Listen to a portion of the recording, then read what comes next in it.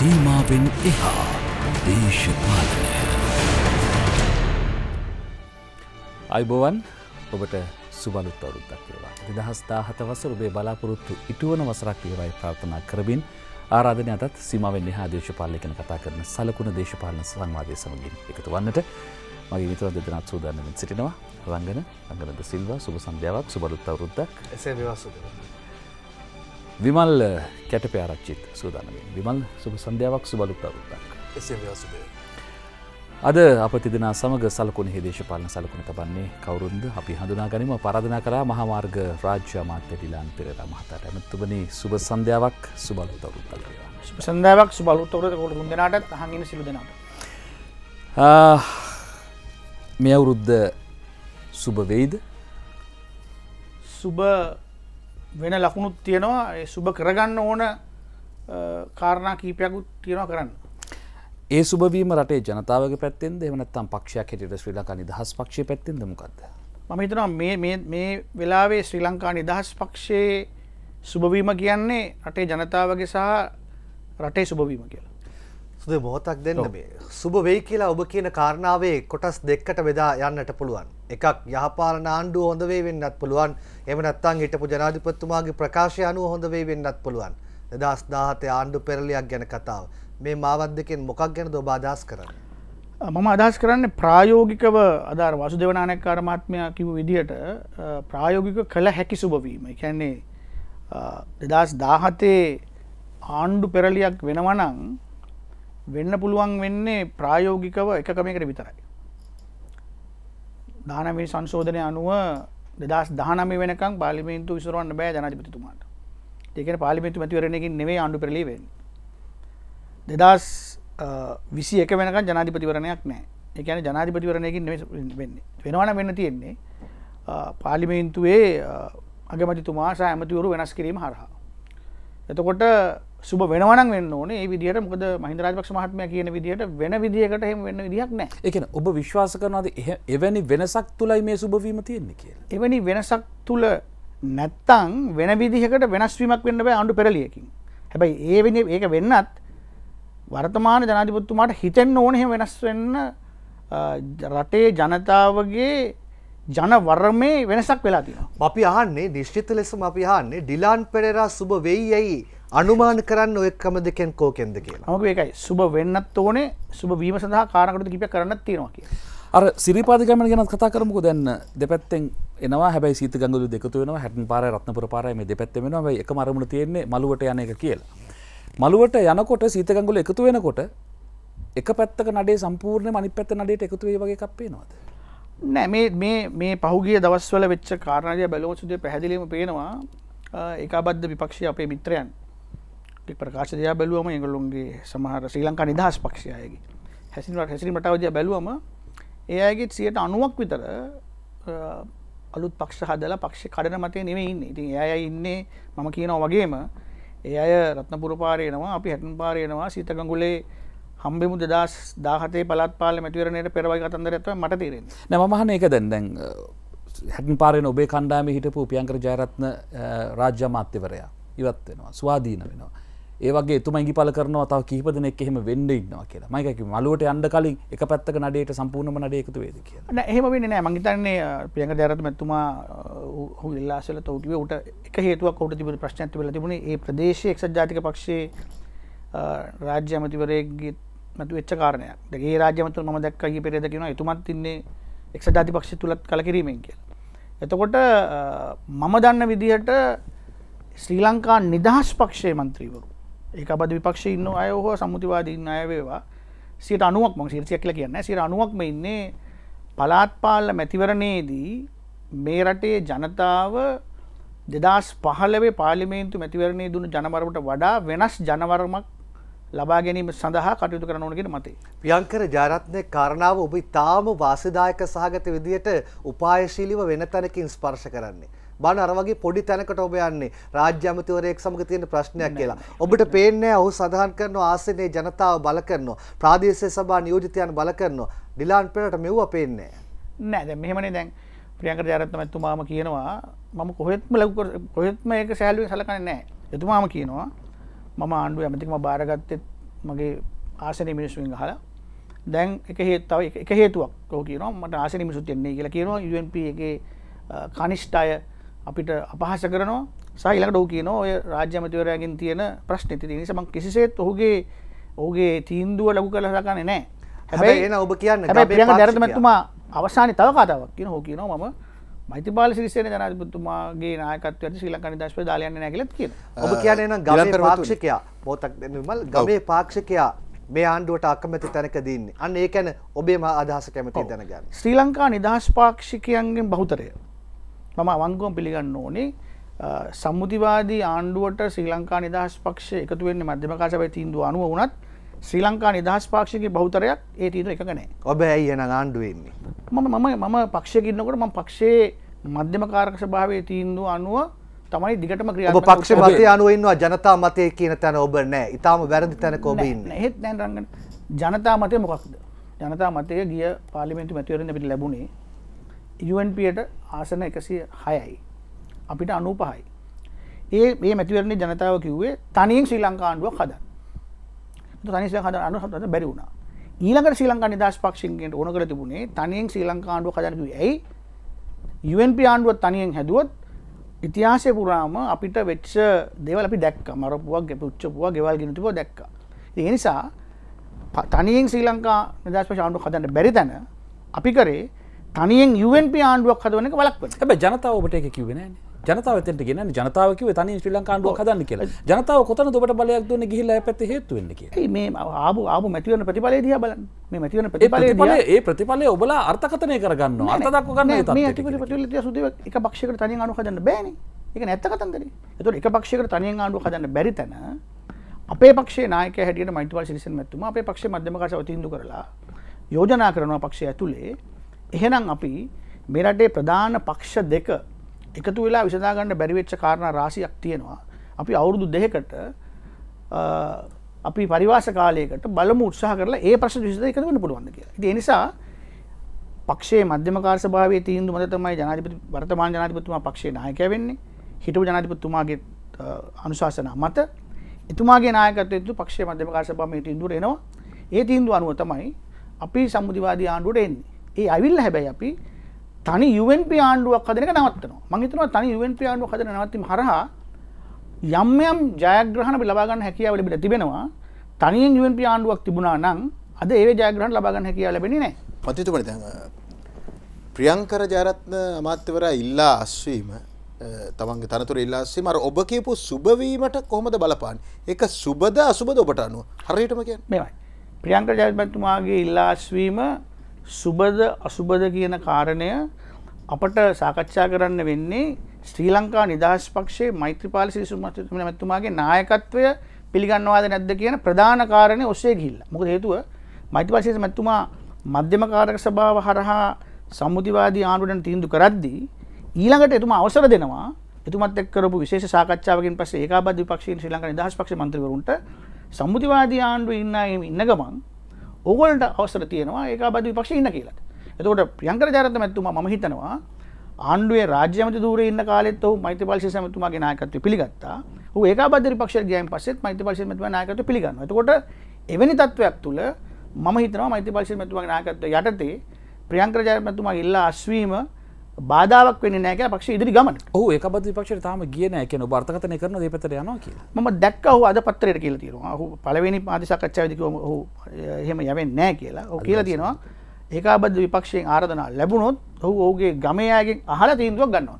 දැන් එතකොට මේ ඔබ ඔබ කියන සුබවීම කියන්නේ ශ්‍රී ලංකා නිදහස් පක්ෂ පැත්ත විතර සම්මුති ආණ්ඩුව දැන් හොඳයි කිව්වා මේක ලංකාවට අලුත් අත්දැකීමක් කිව්වා. ඒ කතන්දර ඔක්කොම ඉවරද? එහෙම අවුලක් නැද්ද? නෑ සම්මුතිවාදී ආණ්ඩුව හරහා කරගත යුතු වැඩ කොටස ලංකාවේ තිබුණා. මැතිවරණ වෙනස් කරන එක.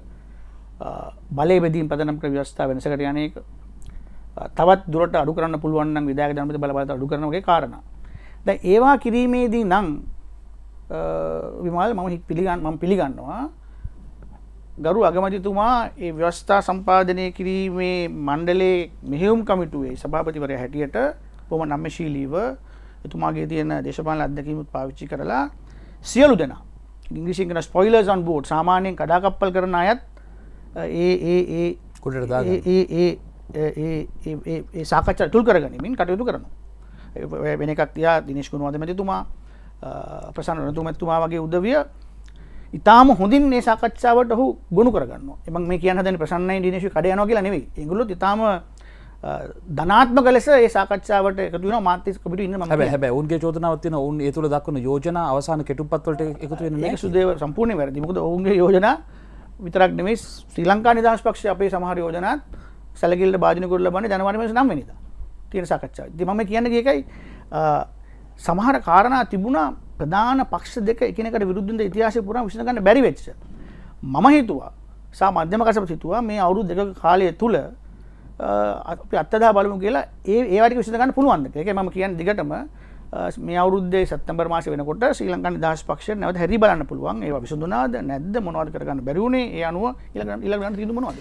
යංකර ජයරත්න සාධක ගැන තව චුට්ටක් කතා කළොත් මෙතනින් එහා මේක නැවතුමක් නෙවෙයි නේද? ඊළඟට ජනවාරි 8 වෙනිදා මේක තවත් දිගුවක් යන්න තියෙනවා කියලා වාර්තා පළවෙමින් පවතිනවා. ජ්‍යෙෂ්ඨ ඇමතුරු දෙදෙනෙක් ඒකාබද්ධ විපක්ෂ එහෙමත් නැත්නම් ආණ්ඩුවෙන් ඉවත් වීම පිළිබඳව යම් තැනකට ඇවිල්ලා තියෙනවා කියලා කියනවා. ඔබට මේ ගැන ආරංචි ලැබිලා තියෙනවද? ඔව් ප්‍රියංකර රංගන් මෙහෙමයි. දැන් ඒකම සමහර ආරංචි පුවත්පත්වල මාධ්‍යවල තියෙනවා. ඒකාබද්ධ විපක්ෂයේ අය සමහර කීප දෙනෙක් සම්මුතිවාදී ආණ්ඩුවක ජෝනමතුන්ග මහතත් දවස දින ප්‍රකාශ ජෝනමතු ප්‍රකාශ මම කියන්නේ ජෝනමතු ප්‍රකාශ මට බලංගු වෙන්නේ නැහැ. ඔහු අපේ පක්ෂව දන්නේ නැහනේ.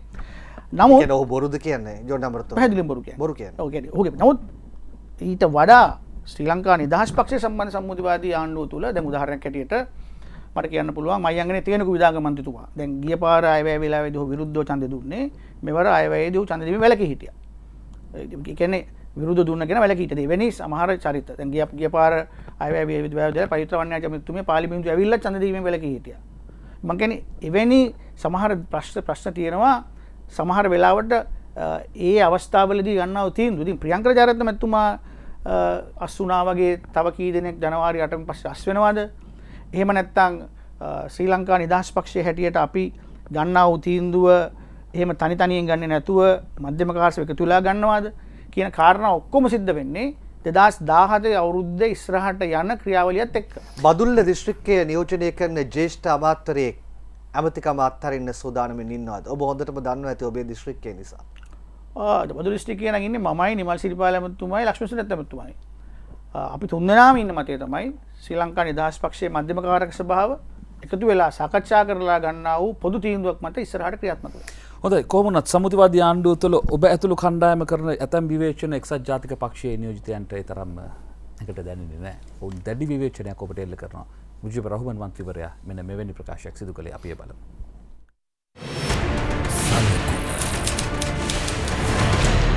අපිට ජාතික ආණ්ඩුව කියන ආණ්ඩුවක් හදන්න ඕමනා වුණේ විශේෂයෙන්ම මේ රටේ තියෙන ජාතික අර්බුද ගණනාවක් විසඳගන්න. අපිට ඕනේ නම් ශ්‍රී ලංකා නිදහස් පක්ෂයේ 10ක් 15ක් කඩාගෙන අපිට ආණ්ඩුවක් හදන්න තිබුණා. බුරුතු පිටින් එන්න ලෑස්ති වෙලා හිටියා. මේ කාලය තුලදී ශ්‍රී ලංකා නිදහස් පක්ෂයේ සමහර ඇමතිවරු මේ අගමැතිතුමාවයි මේ ආණ්ඩුවේ ඉන්න සමහර දේවල් විවේචනය කරනවා. ජනාධිපතිතුමාත් එක්ක එකතු වෙලා ඉන්න සියලු දෙනාම මෛත්‍රීපාල සිරිසේන ජනාධිපතිතුමාව පරාජය කරන්න වැඩ කරපු උදවිය. ජයග්‍රහණ අවසානයෙන් පස්සේ මේ ආණ්ඩුවට එකතු වෙච්ච ඒ ශ්‍රී ලංකා නිදහස් පක්ෂය ඇමතිවරුන්ට තියෙන්නේ ඒ අපි ලබාගත්ත ඒ ජනතා වරමත් එක්ක එකතු වෙලා යන්නේ. ඒ ජනතා වරමට පිටුපාන්න නෙමෙයි. මොකද ඒගොල්ලන්ට ජනතා වරමක් හම්බුනේ නැහැ. ජනතා වරම හම්බුනේ අපිට ආණ්ඩුව හදන්න. සමහර වෙලාවට හොඳ දෙයක් වෙච්ච ගමන් ඒගොල්ලෝ පෙන්වන්න හදනවා මේක අපේ ආණ්ඩුවක්. ජනතාවගේ විවේචනය එනකොට ජනතා උද්ඝෝෂණ එනකොට සමහර දේවල් වලට මුහුණ දෙන්න බැරි වෙච්ච ගමන් ටක් ගාලා බෝලේ දානවා අගමැතිතුමාගේ ඔළුවට. මේ ආණ්ඩුව ඇතුළේ ඉඳගෙන එහෙම කියන්න අයිතියක් නැහැ. අපිට ආණ්ඩුවක් හදන්න බැරුව නෙමෙයි. දැන් අපි දන්නවා හැමදාම ඩිලාන් පෙරේරා ඇමතිතුමා කියනවා මේ බැසිල් රාජපක්ෂ එක්සත් ජාතික පක්ෂෙත් එක්ක ඩීල් දාලා ශ්‍රී ලංකාවක කඩන්න හදනවා කියලා. අපි ඩිලාන් පෙරේරා ඇමතිතුමාට කියන්න ඕනේ ශ්‍රී ලංකා නිදහස් පක්ෂය ආරක්ෂා කර ගැනීම තමුන්නාන්සලාගේ වගකීමක්. තමුන්නාන්සලාගේ ශ්‍රී ලංකා නිදහස් පක්ෂය ඇතුලේ අර්බුද මතුවෙනවා නම් ඒක එක්සත් ජාතික පක්ෂ ප්‍රශ්නයක් නෙමෙයි. තමුන්නාන්සලා ඒක තමුන්නාන්සලාගේ ඩාලිපාරේ මූලස්ථානයේ විසඳගන්න එක. මහින්ද රාජපක්ෂ මහත්තයාගේ ග්‍රහණයෙන් ශ්‍රී ලංකා නිදහස් පක්ෂය බේරලා අද ඩිලාන් පෙරලාට ශ්‍රී ලංකා නිදහස් පක්ෂය ඇතුලේ කතා කරන්න නිදහස හදලා දුන්නේ අපි. අපිට සැකයක් තියෙනවා මේ ශ්‍රී ලංකා නිදහස් පක්ෂේ සමහර ඇමතිවරු මහින්ද රාජපක්ෂගේ කොන්ත්‍රාත්තුවක් කරනවාද කියලා ජනාධිපතිතුමත් එක්ක ඉඳගෙන. මොකද ජනාධිපතිතුමාව පොළොමන්ඩ හදනවා මෙතන අපිත් එක්ක පටලවිල්ලක් ඇති කරන්න. මේක නවත්තන්න ඕනේ. එහෙම නැත්නම් තමුන්නාසලට මේ ආණ්ඩුවෙන් යන්න පුළුවන්. අපිට කිසිම ගැටලුවක් නැහැ. ඔගොල්ලෝ ගියයි කියලා මේ ආණ්ඩුව වැටෙන්නේ නැහැ. මේ ආණ්ඩුව තුල ඉඳගෙන කැබිනට් එකේ ඉඳගෙන නියෝජ්‍ය ඇමතිකම් අරගෙන රාජ්‍ය ඇමතිකම් අරගෙන ටීවී කැමරා එකක් දැක්ක ගමන් මයික් එකක් දැක්ක ගමන් වෙන එකක් දොඩවනවා. කාලා කාලා කාලා මේ රට විනාශ කරලා මහින්ද රාජපක්ෂත් එක්ක එකතු වෙලා ඉඳලානේ ඇවිල්ලා දැන් මේ මෛත්‍රීපාල සිරිසේන ජනාධිපතිතුමාගේ කරේ එල්ලීලා තියෙන්නේ.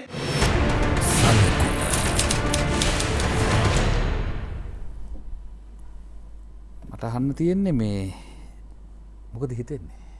මුද දෙන්න දැන් ඔය ඔය මන්තිතුමාට මට කියන්න තියෙන්නේ මෛත්‍රපාල සිරිසෙනමතුමාව ආරක්ෂා කරනවයි කියලා කියන්නේ මේ ආරක්ෂකව දාලා ගාඩ් දාලා ආරක්ෂා කරනවා කියනක නෙවෙයි මෛත්‍රපාල ශිෂ්‍යන මැතිතුමාගේ ප්‍රතිපත්ති ආරක්ෂා කරනවා කියන එකයි. එතකොට මෛත්‍රපාල මැතිතුමාගේ ප්‍රතිපත්ති ආරක්ෂා කරනවා නම් බැඳුම් කර වංචාවෙන් වර්ධකාරය වෙච්ච මහින්ද්‍රන් මහත්‍යාව මෛත්‍රපාල ශිෂ්‍යන මැත්තුමා මැදිහත් වෙලා කාලය දික් කරන්න නැතුව එළියට දැම්මම අගමැතිතුමාගේ මොක්හරි අලුත් අන්තුර පත් කරගන්නේ නෑනේ ඒ හරහා කරන්නේ මෛත්‍රපාල ශිෂ්‍යමතුමා ආරක්ෂා කරන එකද? ඊළඟට බලය බෙදන් බලය බෙදීම පදනම් කරගත්ත ව්‍යස්ථා වෙනසකට මුලපුරණවයි කියලා. අද මොකද සිද්ධ වෙන්නේ තැම මේ අද අද අද අයිටන් නාලිකාවේ ප්‍රවෘත්ති දිහා බැලුවම අයිටන් නාලිකාව ප්‍රවෘත්තිවල ජනතාව කැදෝ කැදෝ කියනවා මේ අර සුපිරි පනත ගැන ආශූ මාර්සිං මහත්‍ය ප්‍රකාශයක් කරලා පලාත් සබා සුදුවලියෙක් පලාත් සබා එපා එපා තියෙන තියෙන ටිකත්. ඊළඟට ජනාධිපතිතුමා තමාගේ තියෙන බලතල දහනම්වෙනි සංශෝධනය හර අයින් කරගන්නවා. ඒකන තමාගේ විදායක බද අයින් කරගන්න වයිල කිවේ වන්මෑන් ෂෝ බලය කේන්ද්‍රගත වීම නවත්තනවයි කියලන කිවේ එතුමා එක නවත්තනවා. හැබැයි සුපිරි ඇමති පනතක් ගෙනල්ලා ඒවා එක තැනකට ගුණ කරගන්න උත්සා කරනවා. එතවට ඒ ජනාධිපතිතුමාගේ ප්‍රතිපත්ති ආරක්ෂා කිරීමද ඊළඟට ජනාධිපත්තුමාගේ ප්‍රතිපත්ති ප්‍රකාශනතු පැහැදිලිවම තිබුණ. මැතිවරණකම වෙනස් කරනවා කියලා. යනු තමයි ගිය මතිවරට ඉස්සලම විසිවනි සංශෝධනය හර මාදුලාව සෝපිත හාමුදුරුවොත් විහාර මහදේ පාකට වඩම් ොලිවරල කිවේ ඒ මතිවරට ඉස්සල්ලා විසිවනි සංශෝධන හර අලුත් මතිවරණ ක්‍රම ගන්න කිය හැබැයි දැන් ඒ අලුත් මතිවරණ ක්‍රමේ පාලිමෙන්තුවට ගේන එක සාකච්ඡා වෙනකුට දැනට මනාප ක්‍රමය නැති පලාත්පාල චන්දය විවිධ සාකච්ඡා කරලා නැවත පරණ ක්‍රමයටම යන්න ඩීල එකක් තියෙන බව ම කියලා සුමානය පාලිමින්තුව ලොප්පුුණ හකි මහත්ය කියනවා හරි අපි ඒ විදියට යන්. දල සා කියනවා කිරියල්ල කියෙන ඔවත්යන් කියලා. එතකොට ඒ ජනතිපතිතුමාගේ ප්‍රතිපත්ති ආරක්ෂා කිරීමද. දී නිසා මම දන්නවා මුජිබරහම් මන්තුමාගේ හඬ ආවට හඬ අපිට පේන්නේ හඬ. ඔය ඔය හඬ එන්නේ වෙන කො වෙන කොින් කොහෙන් හරි. ඒ එන තැන පේෙන් නැද්දබතුමාට මට එනතන පේනවා. කොතැන්ද?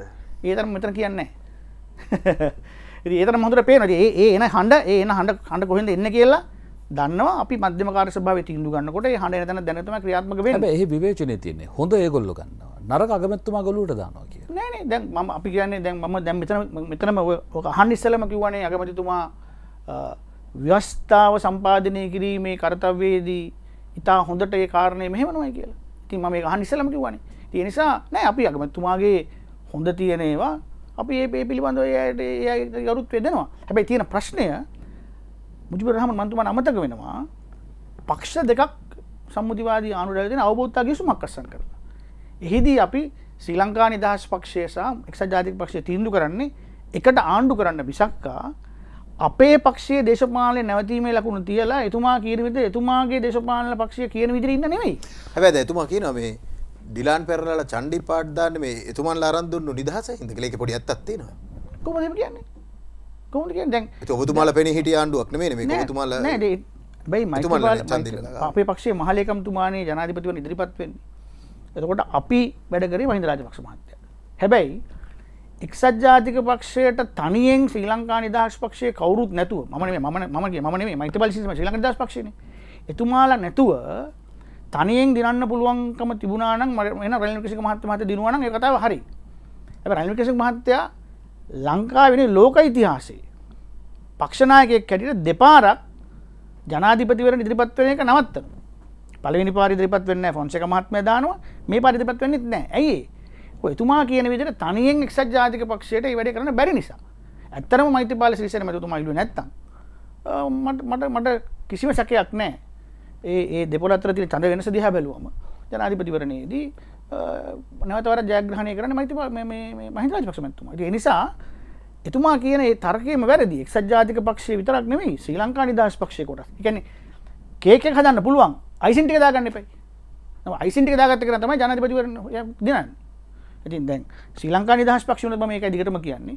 මහින්ද රාජපක්ෂ මහත්තනතු කේක හදන්න බෑ. හැබැ කේක හතුරම අයිසින් නෑ. නමුත් එතුමා කෙන ඒ අයිසිංතිය කේකට මෙලෝ සම්බන්ධයක් නැත ඔබතුමල කේක් කපන්න හදනවා දැ මං කියන ඒ අයිසින්ට අයිසින්ටික දුන්න කෙන කියන ජනාධිපතිවරණය ජයග්‍රහණයට අවශ්‍ය කරන ඉතුරටික දුන්න කෙන මයිති පල්සිස මහත්මයන. මයිති පල්සිස මහත්මය අපේ පක්ෂ නායකයන.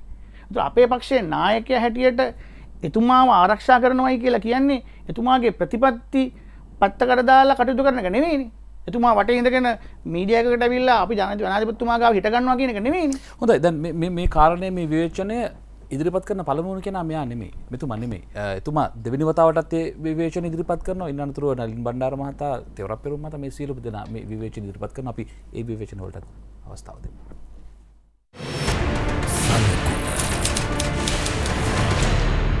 ඉලාන් පෙර ඇමතුමා මෝල් කලන්තේ හැදිලා වගේ දැන් කෑගහන්න පටන් අරන් තියෙනවා. මහින්ද රාජපක්ෂ මහත්තයා ඉන්නකොට මේගොල්ලෝ පූස් පැටව් වගේ හිටියේ. වචනයක් කතා කරේ නෑ. නාමල් රාජපක්ෂලට සර් කිය කිය හිටියේ. එහෙම හිටපු මිනිස්සු තමයි අද වීරයෝ වගේ දැන් කතා කරන්න පටන් අරන්. අද මහින්ද රාජපක්ෂ මහත්තයා ශ්‍රී ලංකාවේ නායකයා වෙලා හිටියා නම් ඩිලාන් පෙරරට පුළුවන් ද කයිවාරු ගහන්න. ඔය දඟලන්නේ කෑ ගහන්නේ අර මයික් ඉස්සරහා වීරෝ වෙන්න හදන අය. ඒ නිසා ඔය දේවප්‍රියලා හරි රිලාන්ලා හරි අපි කියනවා වැඩකාරයෝ වෙන්න වැඩ පෙන්නලා. මේ ආණ්ඩුව ඇතුළේ ඉඳගෙන බොරු වීරයෝ වෙන්න හදනවා නම් ඒක අපි අනුමත කරන්නේ නැහැ. ගමේ මිනිස්සෙක් කිව්වා මහත්තයෝ වැඩියෙන් බිරුවොත් තමයි මස් කට්ට විසි කරන්න කියලා. ඉතින් ඔය වැඩියෙන් බුරන්නේ ඔය මස් කටු කන අය. එයාට අපි තව මස් කට්ටක් ඉදිරියේදී විසි කරන්න බලාපොරොත්තු යහපාලට උදව් නොකරපු මහින්දරාදාස ජනාධිපතිතුමා ගාව බලු කුක්ක වගේ හික්මීයේ වගේ හිටපු ඩිලාන් පෙරේරා මහත්තයලා නැවත මේක මහින්ද රාජපක්ෂ මහත්තයාගේ උඩුක්කුවට මේ බලය දාන හදන ලොකු වෑයමක් යෙදෙනවා. ඒ වගේම අපි දැක්කා ඩිලාන් පෙරේරා මහත්තයා කියලා දුනා මේ එක්සත් ජාතික දීගේ කඩනවා කියලා. මේ කඩන්න හදාගත්තු දීගයක් නෙමෙයි. මේක මේ රටේ සියලු පුරවැසියන්ගේ සියලු ජනතාවගේ ඌමනායෙන් හදාගත්තු දීගයක්. අපිට ඇත්ති වෙන්න දැන් දරුපාල මේනව ලැබිලා තියෙනවා මේ දීගෙන්. හැබැයි ඩිලාන්ලා වගේ ගෙන මහිතන අපේ දී කඩන හම්බෙන්නේ නැහැ. මේක හෙල්ලෙනවා. හැබැයි හෙල්ලුවට පෙල්ලන්න හම්බෙන්නේ නැහැ කාටවත්. බලු කුක්කො ගැන කියනවා මස් කටු ගැන කියනවා. කොමරි ඒවා මෙවනට කාටුන් වලටත් ඇවිල්ල. ඕ මේ කාටුන් වල දේශපාලක්ඥෝ ගැන අනේවා ඒවා. අපේ රංගන මහත්‍යවගේ ලස්සන්ට උදේ කියවනකට අපි බොම ආශය බලගෙන ො දේශපාලය කරනකොට කාටුන් වල ඒවා ඔය විවචන වසන් නොනක හේතුව දැන් ලස්සන වැඩේ ගැන මේකයි. අපි මුලින්ම සම්මුතිවාදී ආණ්ඩු හැදුවම මේ ප්‍රෝග්‍රම් වලට ආපුුවම අපිට මස්කටු කනව කියලා කිව්වේ UNPගේ මස්කටු කනව කියලා කිවේ ඒ අපද විපක්ෂ අපේ මිත්‍රය. දැන් ඒකාබද විපක්ෂ මිත්‍රවන්ට නෙවේ UNPක වැඩියෙන් බනින් මේ දවස ුවට බනින්න වන එකපති පක්ෂ මිත්‍ර බනින්නෙම ඩිලාන් පෙරේර ඇතුළ අපිට. කට්ටු කනවා පලයව ඉන්න එපා දුවපියව්.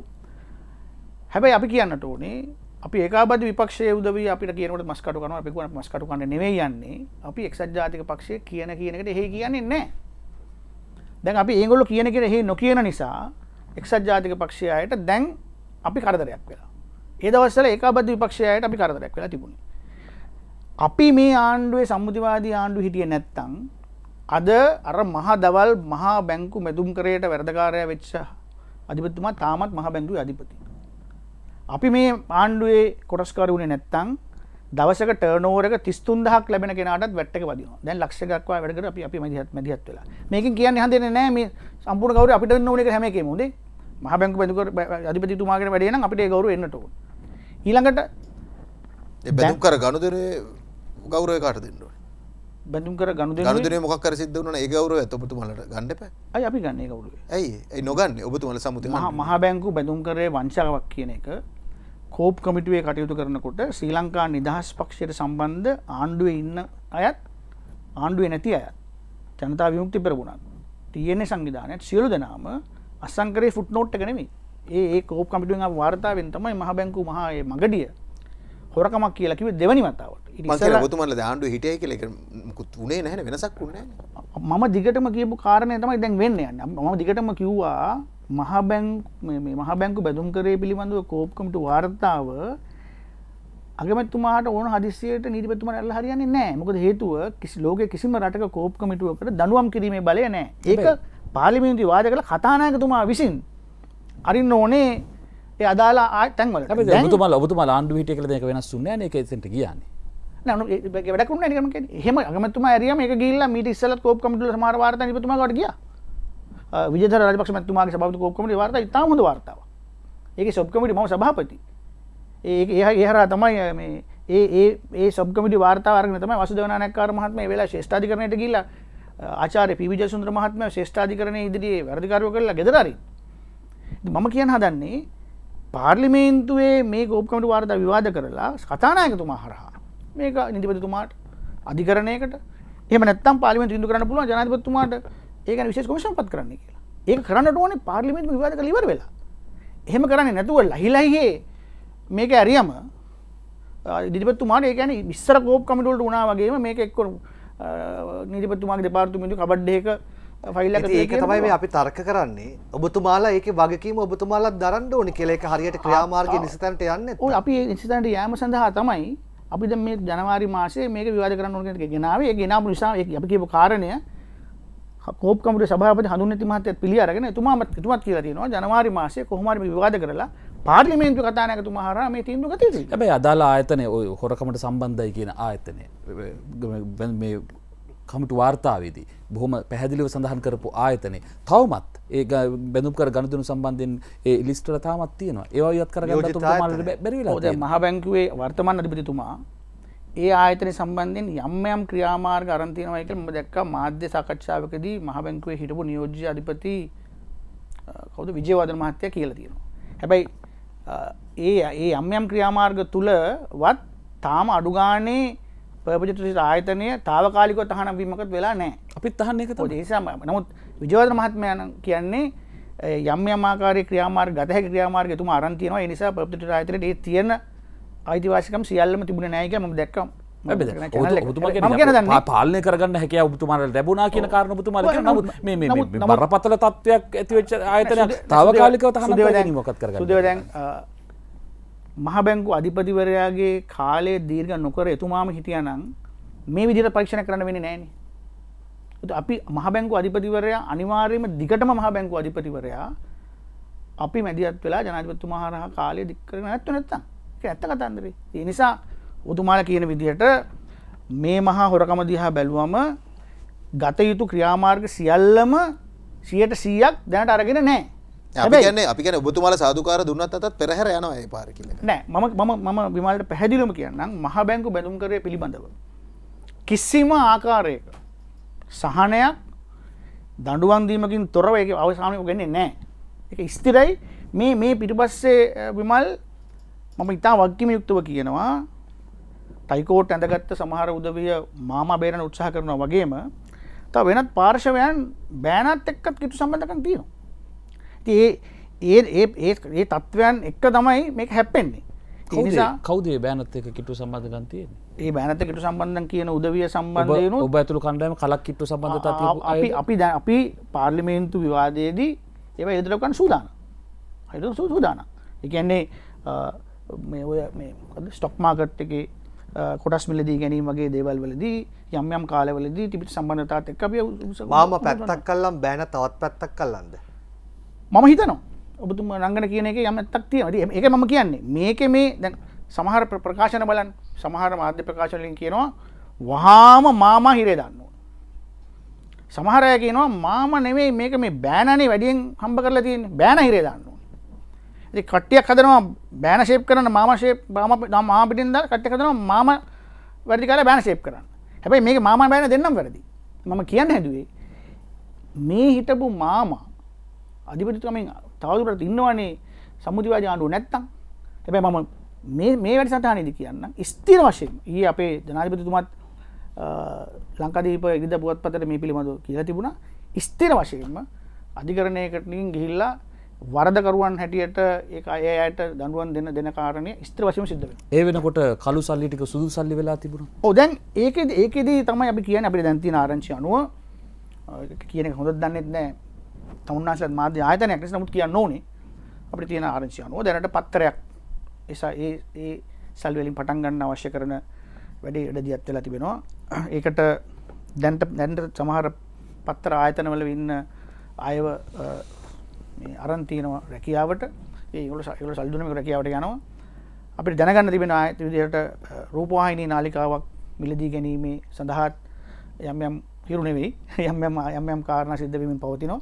යක් අමාරු ලෙදිගන්න හිරුපිලික අමාරුවේ. නමුත් අපි හිතන අමාරුව කියල හිරම එකත් තමයි ගන්න හදන් නමුත් ම හිතනවා ඒවාත් පිළිවා දැනුවත්වමින් මේ මේ මේ දිනවලත් නාලිකාව මිලදී ගැනීම වගේ කටයුතු වලට අපි නම මහන්න එක මහන්න එකද ඔබතුමා රටේ ජනතාවට කියන්නේ ස්ථාල වහනකොට කළු සල්ලිටික සුදු සල්ලි වෙලා තිබුණ. නෑ කළු සල්ලිටික සුදු සල්ලි කර ගැනීම කියන කාරණයත් අපි සැලකිල්ට ගත යුතු වෙනවා මේවා අධිකරන ඇරුවෙන් පස අධිකරණයට ඒවා සම්බන්ධය ක්‍රියාත්මක වීමට මං කියන්නේ මේ මේ මෙදුම් කර වංචාව සම්බන්ධය මේ රජයට ක්‍රියාත්මක වෙන්න බැරිවුණොත් බැරිවුණොත් අපි සියලු දෙනාම කඩේවාල ගෙදරනෙ හොඳයි.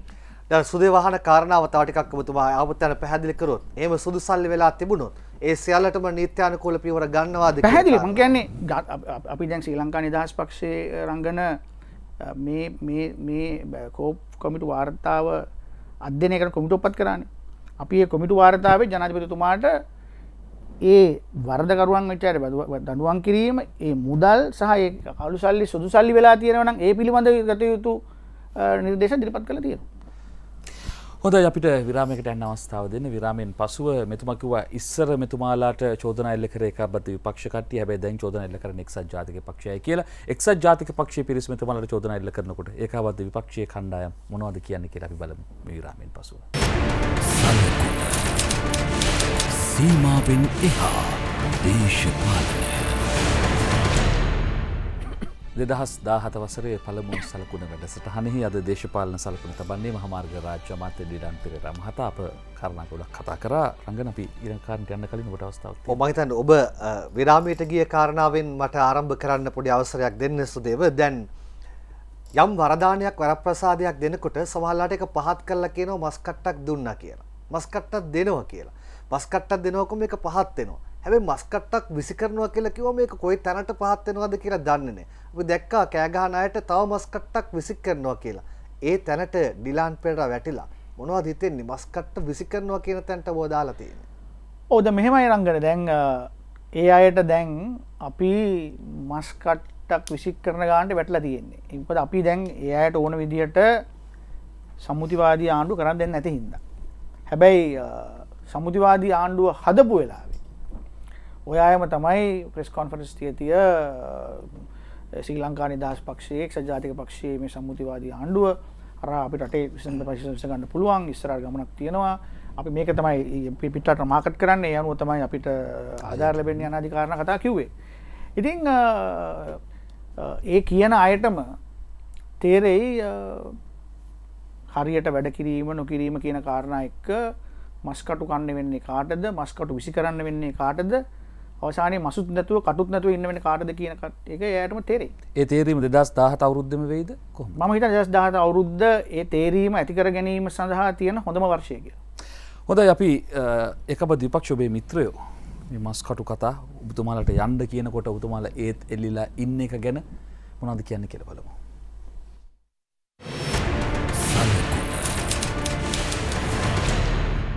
බලමු ශ්‍රී ලංකානි දස් පක්ෂය ඉල්ල එක්සත් ජාති පක්ෂයන්ගේ එල්ලිචෙන්ද එතන ඉඳගෙන එක්කෙනෙක් කියනවා මම ඉන්නේ අසූචි වලේ කියලා. අසූචි වලේ ඉඳගෙන අත වඩනවා. ඔබතුමාලත් ඇවිල්ලා වැටෙන්න කියලා. දැන් ආණ්ඩුවෙන් කියනවා බල පළයල්ලා. ඇයි මේ ඉන්නේ? අපිට හයිය තියෙනවා අපිට ඉන්න පුළුවන්. පින් යමතිය. එහෙමයි කතා කරේ. දෙයියනේ වෙද්දක් ගැනගෙන ඉන්නේ කියලා මට තාම සැක. මම තමයි ලංකාවේ දේශපාලකයන්ගෙන් පළමුවෙන්ම කිව්වේ UNP ශ්‍රී ලංකා හවුල හරියන්නේ නැහැ. ඒකෙන් තමයි මම යන්නේ නැහැ. දැන් දැන් පෙවුණා නේද කෙලවෙල ගියා යනවනේ. මේක ඉන්න බෑනේ. දැන් උන්ට යන්න කියනවනේ. මේ හැමදාම UNP කාර්යෝ කියනවා මේකේ ඉන්න බැරි නම් ඵලයක්. එහෙම කියද්දි කොහොමද ඉන්නේ මේ ආණ්ඩුවේ? මම වගේ එක් නම් කනට ගහලා ඉන්නේ. ඉතින් මම කියනවා මාව ආදර්ශයට ගන්න කියලා අනිත් දේශපාලකයන්ට. සමහර අපේ ඉන්න අනේ අමතුරුදියා දැක්කම දුකයි. UNP එකේ ලාබාල ලදරු වයසේ කොල්ලන්ගෙන් ඒ ලෙවල් ඕ ලෙවල් කරන ශ්‍රී ලංකාවේ අමතුරු බැනුම් අහනවා. අපිටම දුක හිතෙනවා මොකද අපිත් එක්ක එකට හිටපු අය, එකට හිටපු අය, එකට කාපු බීපු අය, එකට පක්ෂේ වැඩ කරපු අය. අපිට හරි දුකයි. අර UNP එකේ පොඩි කොල්ලන්ගෙන් අහනේ වැහුවට පස්සේ අනේ මොකටද කියලා හිතන ඔය අමතිකම ඕක බල්ලට දාලා කරුණා කරලා කොන්ද කෙලින් තියාගෙන එන්න එළියට.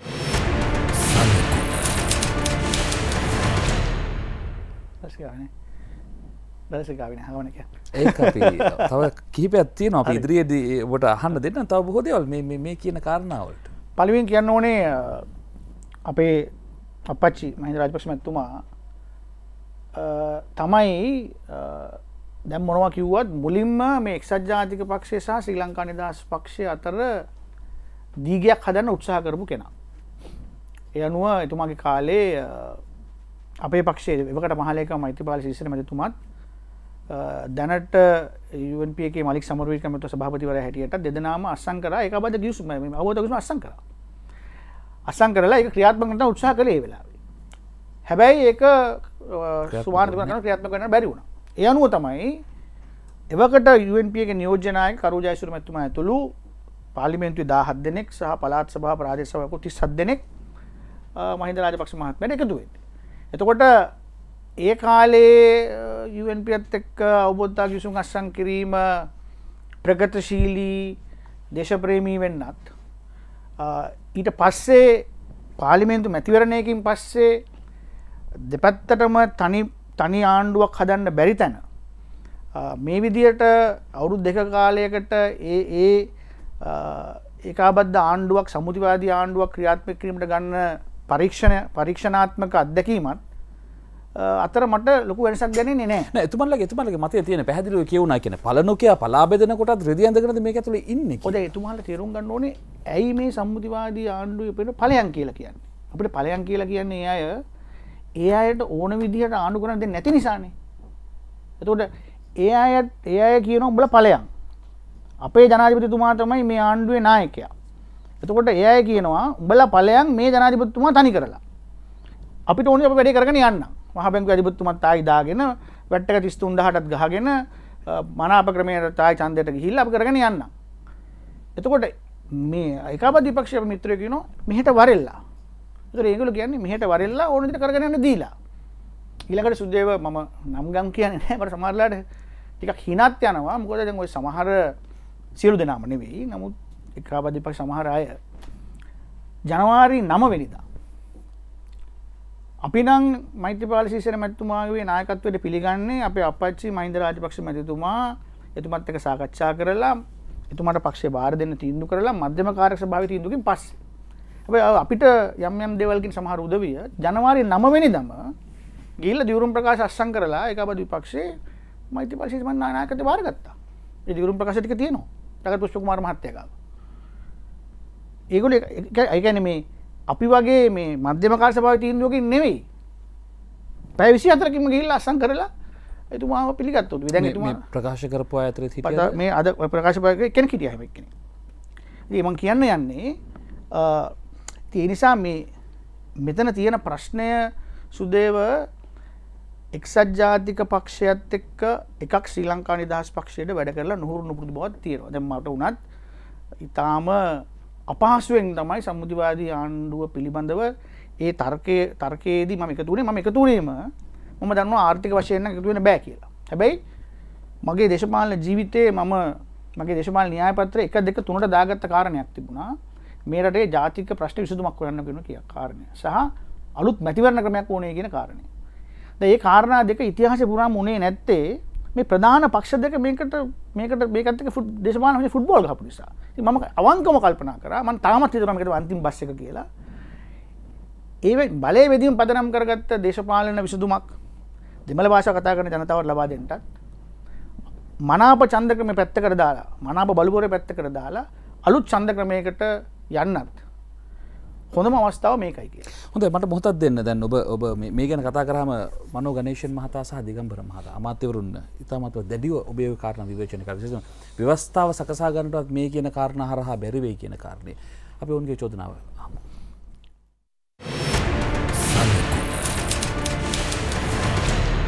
ජනවරි මාසේ අටවැනිදා අපි ලබාගත්ත ජයග්‍රාණය ආපස අරවලා රට පිටිපස අරන් යන්නට උත්සාහ කරන කල්ලියක් අපේ ආණ්ඩුව තුළම දැන් ඔලුව උස්සලා තියෙනවා. ශ්‍රී ලංකා දාස් පක්ෂේ නියෝජන කරගනවා කියලා කියන සමහර ඇමතිවරුන් ව්‍යාකාරයෙන් ඇසිරෙනවා. ජනවරි මාස 8 වෙනිදා 2015 එයා හිටියේ අනිත් පැත්තේ. හිටපු ගමන් ඒගලන්ට විශේෂ ආදරයක් අපේ ජනාධිපති මෛත්‍රීපාල සිරිසේන මැතිතුමා සමග ඇති වෙලා ඊයේ පෙර ඩිලන් පෙරේරා මහත්මයා කියලා තියෙනවා එක්සත් ජාතික පක්ෂ ප්‍රමුඛ ඉන්න ඇමතිවරුන් පිරට ආපු ඇමතිවරුන්ලු ඒ අය පව්කාර ඇමතිවරුන්ලු. හරි ඔද පව් තමයි ඒගොල්ලෝ කියන කතාව පව්. ඈ ඒගොල්ලන්ද පිරට ආපු ඇමතිවරුන්. දෙකම් පින ඩබල් පින. මන්ත්‍රී පිනත් ඇමති පිනත් දෙකම තමයි ලබාගත්ත මිනිස්සු. ව්‍යවස්ථා සම්බන්ධ මොකද කියන්න කියලා ඩිලන් පෙරේරා මහත්මයාත් මේ මෙහිම් කමිටුවේ ඉන්නවා. එතුමාට දන්නවා රට දෙකට කඩන අවස්ථාවක් එතන නැහැ. ඩිලන් පෙරේරා මහත්මයාට තියෙන වගකීම මොකක්ද නම් සත්‍ය මොකක්ද කියලා රටට කියන්න එක. ඒ කරන්නේ නැතුව එතුමා කරන්නේ මොකද්ද?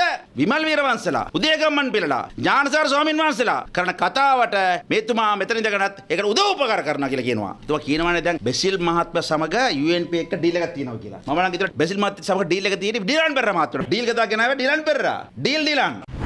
මාමතිවරණ එකසිය පාක්කව යොම්පි තව අපිට ඔත්තක්තම ඕනේ. දෙනුත් අපි තනි ආණ්ඩුව කරන්න ලොකු දෙයක් නෑ. අපි කියන්නේ එමදාම මේ බොරු බයිලා කියන්න එපා. මෙතන ඉන්නවන ඉන්න පුළුවන්. නැත්තම් යන්න පුළුවන්. මහින්ද රාජපක්ෂතුමා හාවොත් පළවෙනි එක ගානේ මෛත්‍රීපාල සිරිසේන ජනාධිපතිතුමාට වෙන කාටවත් නෙවෙයි ඒක නිසා ජාතික ආණ්ඩුව 2020 යනකම් යන්න ඕනේ කියලා කියන්නේ එහෙම කැමති නැති කට්ටිය ගියොත් එවිලා අපි එක්සත් ජාතික පෙරමුණ ආණ්ඩුව අපි හදන්න පුළුවන්. යනවන යන්න අප එක්සත් ජාතික පෙරමුණ ආණ්ඩුවක් ඒ වගේම ව්‍යවස්ථාව සම්බන්ධයෙන් යම් කාරණා කියන්න. පළවෙනි කාර්ය සුදේව මනෝ ගණේෂ් මහතා හොඳටම දන්නවා. ඔය බුදු බල සේන හාමුදුරු කතා කරනකොට අරහෙම කරනකොට මහින්ද රාජපක්ෂ මහතා ජනාධිපති කාලෙත් ඒ හාමුදුරුවන්ට ගෝඨාභය රාජපක්ෂ මහතා උදව් තියෙනවා කියන කාලෙත් මනෝ ගණේෂන්වත් දිගම්බරන්වත් නෙවෙයි බුදු බල සේන හාමුදුරුවන්ට අභියෝග කරේ. ඒ වෙලාවේ දිගම්බරන් මහත්තයාට අපේ ආණ්ඩුවේ මමයි අභියෝග කළේ. ඒ ආරක්ෂ හිට ආරක්ෂ ලකම්තුමා බොදු බල සේනා ඒ සංවිධානට උදව් කරනවා කිය දැන දෙෙන ඔය කවරුත්තාාවෙන ඔය දෙමල භාෂාව කතා කරන ජනතාවෙන් ම පෙනී හිටිය. මුස්ලිම් භාෂාව ම පෙනී හිටිය.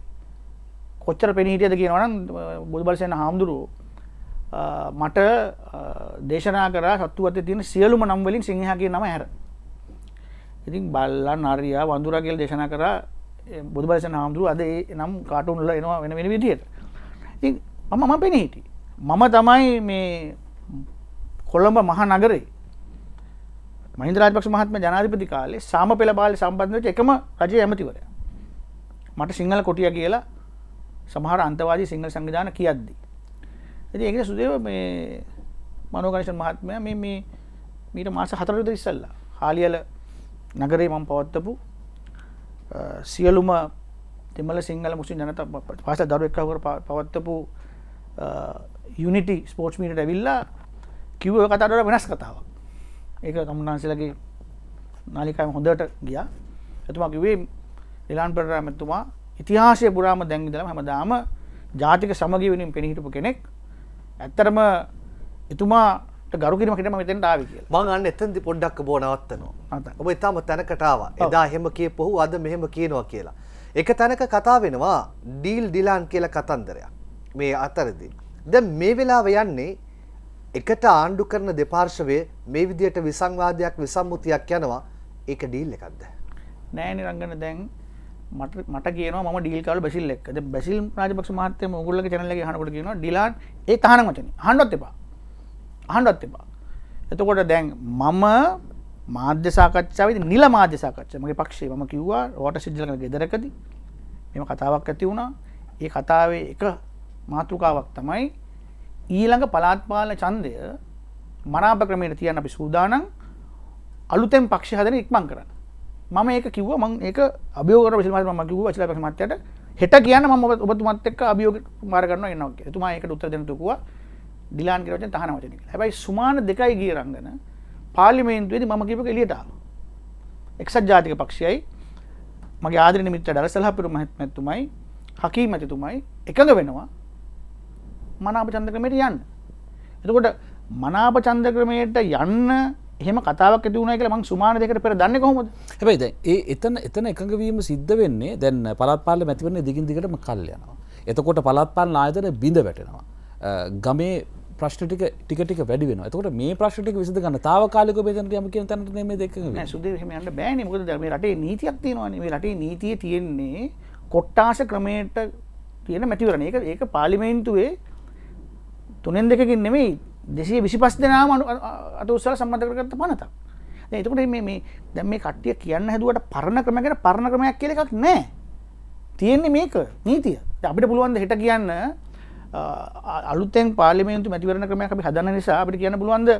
අපි තාවකාරික යන් කියල එක්දස්මසය හැත්ත හතේ තිබ මතිවන ක්‍රමට හෙම මේ ප්‍රශ්න නෑ ඔබ ඔබ කියන මැතිවරණ ක්‍රමයක් නවත් අලුතෙන් හදන්ට යනවා. ඒ ගමට ඉතාම සාර්ථක තැනක තියෙනවා. ඒක හැදුව මේක පළත් පාලන දක්වාම බලපැත්තෙනවා එතකං එක වරක් පමණක් මේ භාවිතා කරන්න කියන කාරණාව තියෙන මේ සීමානිර්ණය හරා මේකට හදන දේ එක වතාවකට පමණයි භාවිතා රංගන මොකට දෙක පත පාවිත වයිත කරන්නේ? ඔය ඔය ඔය කිය රංගන කියන පළත්පාලන මැතිවරණ සහ වෙනත් මැතිවරණවල ප්‍රචණ්ඩ ක්‍රියා කරලා කී දෙනෙක් මැරුණාද? කී දෙනෙක් තුවාල වුණාද? කී දෙනෙක් ගෙවල් ගිනි ගත්තද? අයි දැන් රංගන කරන්න තියෙන්නේ සීමා නිර්ණය විතරයි ඒ සීමා නිර්ණය කරයින් පස්සේ වෙන ප්‍රශ්නයක් නෑ ඇබේ සීම සීමාටින් ඇතිකම් බාලකිරි දෝෂය වගේ අප අද දැක්කා යම් කාරණයක් මේ කාරණත් එක මේක මේක මොකක්ද මේ වෙන්න කියන ප්‍රශ්නාර්තය හැමෝටම නෑ සීමා නිර්ණය කොමිසුමේ සභාපතිතුමා මම දන්න විදිහට ඉතාම දක්ෂ අවංක රාජ නිලධාරී. ඉතින් එතුමාගේ කාර්යභාරය පිළිබඳව මට නම් සැකයක් නෑ. එතුමා මේක නිස්කාරණය ඉදික් කරන්නෙත් නෑ.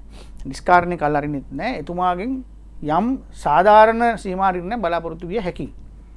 ඒ සීමානය කොමිසපයි වාර්තාව බාරදූ බාරදීලා ගෙසට කරයින් පස්සේ මැතිවන කුමසාරස්තුමා කියන මට මාස හතර කාලයක් වන නමුතුමා ඒ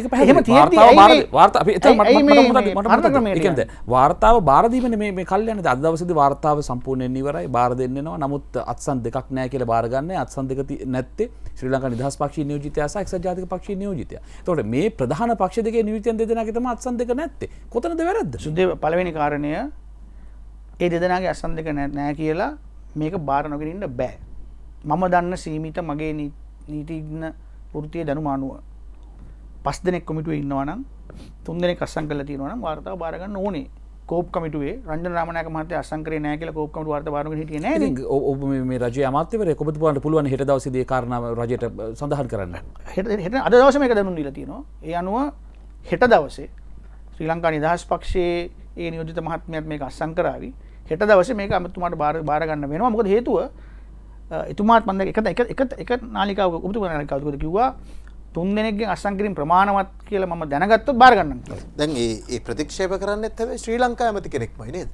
ශ්‍රී ලංකා ඇමති කෙනෙක් වුණත් විමල් ඉතින් ප්‍රතික්ෂපක වැරදින වැරදිීල කියන්න ප ඕන ඒ මහන්න ද ඔබ දිගින්දිකටම කිවන දැම මෙතන ප්‍රශ්න ඇති කරනවා මේ සම්මුති ආණ්ඩුවේ අනෙත් පාර්ශවය කියලා. දැ බැලුහම මම කිවන සියට අනුවක්.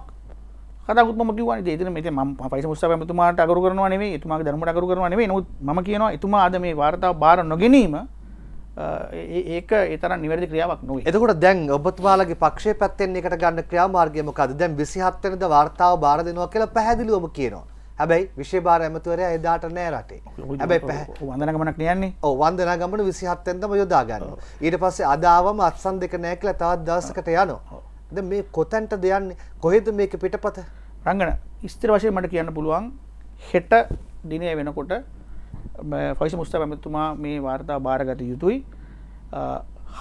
ශ්‍රී ලංකා නිදහස් පක්ෂය කෙන හෙතුන අසං කරයි හිට අසන් නොකලත් පයිස මුස්ත පැමතුමා මේ වාර්තා භාරගත යුතුයි. ඉට පස්සේ නීතිපත්තුමාරය යවලා මේක ගැසක් කිරීම කටයුතු හම කරන්නට ඕනි. එතුමන් එක බාර නොගන්නේ කුමන හේතුවක්ද කියලා ඔබට අනුමානයක් තිනොත් මම හිතනවා ඔහු ඔහු අද ඔහු හිතුවා පස් දෙනා අසං කල යුතු හු කියන්නේ තුන් දෙනෙක් අසං කරව ප්‍රමාණවත් කියලා නීතිය මට දෙනවම බාරගන කලත් කියන අවංකවක මේ අත්සම් පිළිබඳ ප්‍රශ්නද මේ දේශපාලනය ගැන ඔබ අනුමානයමකත් මට ෆයිස මුස්ථා පමතුවන ම දන්න හින්දා මම හිතනවා ඔහුට මෙතන තිබුණේ ට විශ්වාසත් තිබුණ නෑ පස් දෙනාම අස්සං කරන්නේ නැතුව මේක බාර ගැනීම ඉතනකුල නැද කිය ඔබතුමාට හිතෙන් නැද මෙතනඉන්න ෆයිස මුස්ථාපනම මෙතනඉන්න සමස්ත ශ්‍රී ලංකා නිදහස් පක්ෂය මැතිවරණය තවටිකක් කල්දාගන්න පිටපතක් යනවා. ඒ පිටපතේ තව එක්තරා කොටසක් තමයි මේ අද රඟ දැක්වේ කියලා. නෑ රංගන කිසි රඟ දැක්වීමන්න මයිකම කිව්වේ පලාත්පාල මැතිවරණය තියෙනකොට රංගන මාව ගෙන්න්න මෙතෙන්ට.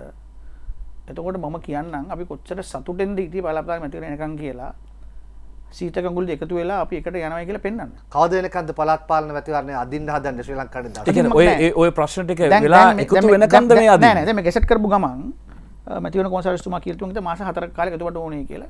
ඊට මතින කොමසාරස්තුමා කියන න්න මතිවන සූදාන එතකොට නිකං නෙමෙයි. හැදෙන මහා සන්ධානය හැදෙනකොට ශ්‍රී ලංකාවේ කොමිනිස් පක්ෂය සමසමාජ පක්ෂය මහජන එක්සත් පෙරමුණ නවමාංශක පෙරමුණ සඩ ඒ පක්ෂවලත් අනන්නතාව ආරක්ෂා වෙන විදිහට එක්දා සමසය හැත්තෑවේ සමගි පෙරමුණ ආණ්ඩුවල නිතරග ගිවිසුම් ඇතිකර ගැනීමේ ඒ අත්දැකීමුත් සියල්ලම සම්බන්ධ කරගෙන තමයි අපි ඒ මහා සන්ධානකුන්න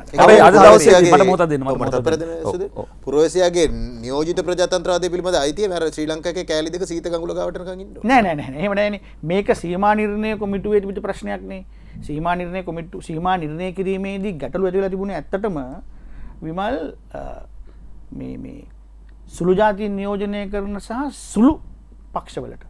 ඒගොල ඒගොල්ල සීමා නිර්ණය පිළිබඳව දැරුවේ විසා විශාල කල කිරීම නිසා තමයි සීමා නිර්ණය කොමිසමක්ෂයන් සිදුවනේ නිර්ණය කොමිසම තව බෝලයක් දාන්ට හැදුවනේ. මොකද බෝලේ? සංයුක්ත තැටයක් කරගෙනාවට පස්සේ ඉංග්‍රීසියෙන් තියෙනවා කියලක්වම භාෂා තුනින්ම තියෙනවා ඕනි කියලා කියන්න හැදවා.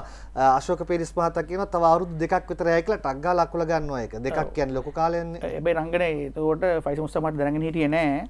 මීට පෙර ඒ සිතියම් පිළිබඳව තිබුණේ ඉංග්‍රීසි භාෂාවෙන් හැදුව සංතරතියක් විතරයි. සිංහලෙන් දෙමලින් තිබුණේ කෝමරිය පිටපතක් ජම්මාකාරයකින් ලියවෙනවා දෝ කියන ප්‍රශ්නය හැමෝටම පේනවා. ඇමතුමනි මේ දැන් මෙම ප්‍රශ්නම මහන්න දැන් අද දවසේ ඔබ කියනවා මේ ඔක්කොම එකතු ලතම මේ ගමන යන්න කියලා. ජීල් පිරිස් මහතා බොහොම පැහැදිලිව කියනවා රෑවැටිච්ච වෙලේ දවල් වැටෙන්නේ නැහැ කියලා. නෑ මං එක ඉදිරිපත් කරන්නද සුදේව මහාචාර්ය ජීල් පිරිස් මැතිතුමා ශ්‍රී ලංකා නිදහස් පක්ෂය වෙනුවෙන් පෙනීන්න බෑන දැන්. එතුමා වෙන පක්ෂකින්. ඊළඟට එතුමා අද ඉන්දර කිය අද කියනවා එතුමා ශ්‍රී ලංකා නිදහස් පක්ෂයේ අපිට කියනවා ඒ කිය ශ්‍රී ලංකාවක් කියන එක තුළ ව්‍යස්ථාරික වෙන්න තුමයි අපට කියන්න ඕනේ නෑ. හැබැයි කෞද ශ්‍රී ලංකා නිදහස් පක්ෂය ආණ්ඩු ඇතුළින්දගෙන ඒ කිය කියන වචනය තුම් පාර ව්‍යස්ථා ඩ්‍රා ව්‍යත්තා කෙටුම් පට්ටලින් අයින් කරේ. අනු පහේ පාලිමිතුව තියෙනවා. පුස්තකාලේ අනු පහේ පුදු පෙරමුණේ ආණ්ඩුවේ ව්‍යස්ථා කෙටුම් පත ඒක ඒක එක වචනය නෑ. ඒක කතරු ප්‍රධාන කතරු දියල් පිරිස් මහත්තය. ව්‍යස්ථාදායක සම්පාද කැමති අනු හතේ තව කෙටුම් පතක් කෙනවා ඒකේ ප්‍රධාන කතරු දියල් පිරිස් මහත්මය දෙදහයි. හත් කෙතුම් පත් හදර විතරන කෙතුමට විවාද කරනවා. ්‍රන්ික කුමාන්ම කෙතුමට අරගෙනෙන් ඒකෙත් ඒක වචනය නෑ. එක එක්සත් ජාතික පක්ෂ පාලිමෙන්තු ඇතුළ ගිනි තියෙන පුච්ච නිසා මහචාර ජිපිස් මැත්තුමා තමයි තුම්පාර මට මට හිත මට තේරුම් ගන්න බෑ මට මට තේරුම් ගන්න පුළුවන් බැසිල් රාජපක්ෂ මහත්මයා වගේ කෙනෙක්. මොකද එතුමා මොන මොන වැඩ තිබුණා එතුමා ජාතිවාදී එක් නෙවෙයි. හැබැයි මට තේරුම් ගන්න බෑ විමල් විරවංශ මහත්තයලා ගම්මන් පිළ මහත්තයලා කොහොමද ජීල් පිස් මහත්තයා දෙපැත්තේ ඉඳගෙන මේ කතාව කියන්නේ කියලා. මොකද එකපාර නෙවෙයි තුන් පාර ලංකා ඉතිහාසයේ ඒකය කියන වචනය ව්‍යස්ථාවෙන් හලපුගෙන තමයි මහාචාර්ය ජීල් පිස් මහත්තුමා. අර මොන මොන වැරද්ද වුණත් ජාතිවාදියෙක් නෙවෙයි කියලා කිව්වේ බැසිල් රාජපක්ෂ මහත්මයා. ඔව්. ඔහු ජාතිවාදියෙක් නෙමෙයි මම දන්න විදිහට ඔහුගේ වෙන වෙන දේශපාලන ඩීල් අරගෙන තියෙනවා. නමුත් ඔහු ජාතිවාදියෙක් නෙමෙයි. එතකොට දැන් ඔබ කියනවනේ දැන් ජීල් පිරිස් මහත්මයා ඒකීය භාවය කියන වචනේ හැලුවා කියලා. ඒක වරදක්ද ඔබට නුව නැද්ද? මම විමල් කෙලින්ම කියන්නම් මට නම් මේ ෆෙඩරල් කියන එක මහා භයාන යකෙක් නෙවෙයි. මට පෞද්ගලිකව. මං ඉන්න පක්ෂය ඉන්න ඒ කිය කියන මත එනම පක්ෂය පක්ෂත් ඉන්නවා. මං ඒ ඒ සාකච්ඡා පක්ෂය තුළ හැමදාම කරනවා. මහින්ද රාජපක්ෂ මැතිතුමා අපි බයයි කියනවනේ. ඔව් බයයි. ඒ දවස්වල. නමුත් එතුමා පක්ෂේ නායකය කාලෙත් මම පක්ෂේ මධ්‍යම කාර්ය ස්වභාවයේ බලය බෙදීමේ ඒකකය පළාත නෙමෙයි දිස්ත්‍රික්කය වෙන්න ඕනේ කියලා එතුමා යෝජනාවක් ගෙනාපු වෙලාවේ මම එතුමාට විරුද්ධව ඡන්දයක් කියලා මධ්‍යම කාර්ය ස්වභාවයේ මට හම්බ ඡන්ද තුනයි. එතුමා ඡන්ද 42යි මාත් එක්ක ඡන්ද දුන්නේ මමයි අතවසන් රත්නමට රජිනවල් කුරේ විතරයි. මම එහෙම කරලා තියෙනවා. ඔබ වැනි අය අද ශ්‍රී ලංකා නිදහස් පක්ෂයේ ඉන්න ඒකීය කියන ස්ථාවරයෙන් එහාට ගිහිල්ලා ෆෙඩරල් කියන තැනට අරන් යන්න උත්සාහ දරයිද? එවැනි අනතුරු ඇඟවීමක් පේනවද? නෑ රංගන මම මේ මේ දෙක උත්තර දෙන්න මම විතර වෙන කතාවක් අහන්නේ. මම පෞද්ගලිකව හිතනවා ෆෙඩරල් කියන වචනය බයන වචනයක් නෙවෙයි මොකද මම දකින මම දන්න ෆෙඩරල් ක්‍රමය රට බෙදීම වලක්වන්න ගෙන තව විදික්‍රම මිස රට බෙදන්න ගෙන ක්‍රමයක් නෙවෙයි. බලය බෙදීම පමණයි. බලබෙදින් පමණ එතන රට බෙදි බෙන්නේ නෑ. මඟහන් ඒ නිසා එවැනි තැනකට ඔබ වැනි අය අරගෙන ගිහිල්ලා ඒකී වචනය හැලේ නෑ. ඒක වචනය දැන් හලන්න බැරි රංගන ශ්‍රී ලංකා නිදහස් පක්ෂය හැටියට අපි ඉන්න මතේ ඒකගේ වචනය තියෙන්න්න ඕනේ. බුද්ධාගමට ප්‍රගමතවගේ තියෙන්න්න ඕනේ. කියන මත ඉන්නේ. දැන් යුවෙන් පැත්තින්නේ මතේ මම දන්න විදිහට තියෙන්නේ සංවිධානයත් යම් නම්මශීලී තැනකට ගේන්න ඒ සම්බන්ධයෙන් හැකියාව තිබුණා අගමැතිතුමාට පහුගිය ඒ ඒ ස්ටියරින් කමිටි වල. එක මංකු එතුමා ඒ එතන නම් මේ බොහොමත වැඩේ කරයි කියලා. දැම් මොන මොන ආකාරයට ඒගොල්ලු ප්‍රතිපක්ෂ නිකුත් කළත් ඒකී කියන වචනය සිංහල සිංහල ව්‍යස්ථා කෙටුම් පතේ ඒ විදියට තිබ්බඩු කමක් නෑ කියන තැනට මේක මැද මැද තැනක් හොයා ගැනීම කියන කාරණයේදී තියෙන්නේ සංවිධානයත් ගෙනීමේ යම් යම් සම්භාවිතයාවන් යම් යම් සංඥාවන් මම දුටුවා ඒ ඒ කමිටු ඇතුළේ ඔබතුම අතුම ඒ කිය වචන දාලවෙලා ජියල් පිරිස් මහතාගේ ප්‍රකාශය වැැහවා. ඒකන එතුම එතුම කරන ප්‍රකාශය තමයි රෑවටිච් වැලි දවල්ට නෑ කියන ප්‍රකාශය. තම එතුම කියනවා මහින්ද රාජපක්ෂ මහතාගේ නායකත්වය තුළ අපි වෙනම ගමනක් යනවා. මේකට මුහුණ දෙන්න මේ විදි රෑවැටි දාලටනක මොද අපි දැන් රෑ වැටු නොහම ද බලේ මහින්ද රාජපක්ෂ මහතය ඉන්න කාලේ අපි පැරදුනේ මම හිදවත් මේ රට ජනතා හිදවත් නෙවෙනි එතු උදාහරනයට ගන්න අගස්තු මාස දස් පාල අගස්තු මාස දාත්වද චන්ද පිලි ම ගන්න බැසි ට ඉක්ෂ දන්ද ජනාධිපතිවරණ පැරදුනේ. බැසි රාජපක්ෂමත්තුම හිද කියන කාරණය නම රාජපක්ෂ මහත්තයත් කිව්වා අභිමල් විනාශ මතු පත්තරයට කිව්වා. එතකොට ඒ බසිල් රාජපක්ෂ මහත්මයම ජියල් පිස් මහත්මයාගේ පක්ෂයේ තියාගෙනද අර පරණතාලේ බසිල් රාජපක්ෂ මහත්මයාගේ සුපිරි ඇමතිකම තියාගෙනද අලුත් අලුතෙන් ආණ්ඩුවක් හදන්න යන්න ඔය? එතුන මිනිස්සුන්ට ඒ පේන්නේ පරණ එකම නේද? එතකොට රෑ වැටිච්ච වලේ දවල් වැටෙන්න එපයි කියලා ජීල් පිරිස් මහත්තය කියා කියාගන්නට ඕනේ කන්නඩ එක්සර පිට කියලා නේද? ඒ නිසා මහින්ද රාජපක්ෂ මහත්මයා ඉතාම පැහැදිලිව ගිසුමාන කියනවා. කාලෙකට පස්සේ මට කිසිම ප්‍රශ්නයක් නෑ වර්තමාන ජනාධිපතිතුමායට අගමැති වීමට පවා කියලා කොන්දේසි සහිතව කොද සහිතව ඉතින් අපි මම ඊට පෙරසුමාන කිව්වා දෙදස් විස්සේ මෛත්‍රපාල ශේෂමතුමා ජනාධිපති වෙනකොට අගමැති හැටියට චමල් රාජපක්ෂ මහත්තයා වෙන්නත් පුළුවන් කියලා. එතකොට එතනින් මම කියන්න ගියේ අපිට තියෙන මේ රාජපක්ෂවරුන්ට විරෝධයක් එහෙම නෙමෙයි. අපිට තියෙන්නේ මහින්ද රාජපක්ෂ මහත්මයාට නැවත තන් දීලන්න බෑ ජනාධිපතිවරයා හැටියට. තව අවුරුදු හතරමාරක් යනකම් පාර්ලිමේන්තුව විසිරවන්න බෑ. එවැනි තත්ත්වයක් තුල පක්ෂ ඒක රාශී කරන ඉස්සර ඉස්සරන ගමන. හොඳයි. අපි විරාමයටම විරාමයෙන් පසු ඔබේ මිත්‍රයා ඩල සලප් පෙරුම මහතා කියන යම් කාරණයක්. එතුමා ව්‍යාජ UNP විරෝධයක් පිළිබඳවයි කතාබා කරන්නේ. අප මේ විරාමෙන් පසුව ඒ කාරණය කර දැනගන්න. සීමාවෙන් එහා දේශපාලනය. සීමාවෙන් හා දේශපාලන සලකුණ?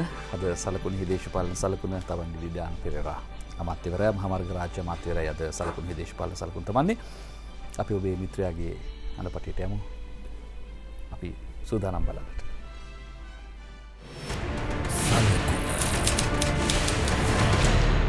සුපිරි ඇමති පනත එක දිගට පරාජයමින් පවතිනවා. මේ පළාත් සභා මන්ත්‍රරුන්ට තියෙන ඒ ශක්තිමත් කශේරුකාව පිළිබඳව අපි ආඩම්බර ඒ ශක්තිමත් කශේරුකාවෙන් අඩක් හෝ ආණ්ඩුව ඇතුළේ ඉන්න අපේ මිත්‍රයන්ටත් ලැබේවා කියලා අපි ප්‍රාර්ථනා කරනවා. මොකද මේ දැන් අපිට තේරෙනවා ව්‍යාජ UNP විරෝධයක් කරලියට පැමිණෙමින් පවතිනවා.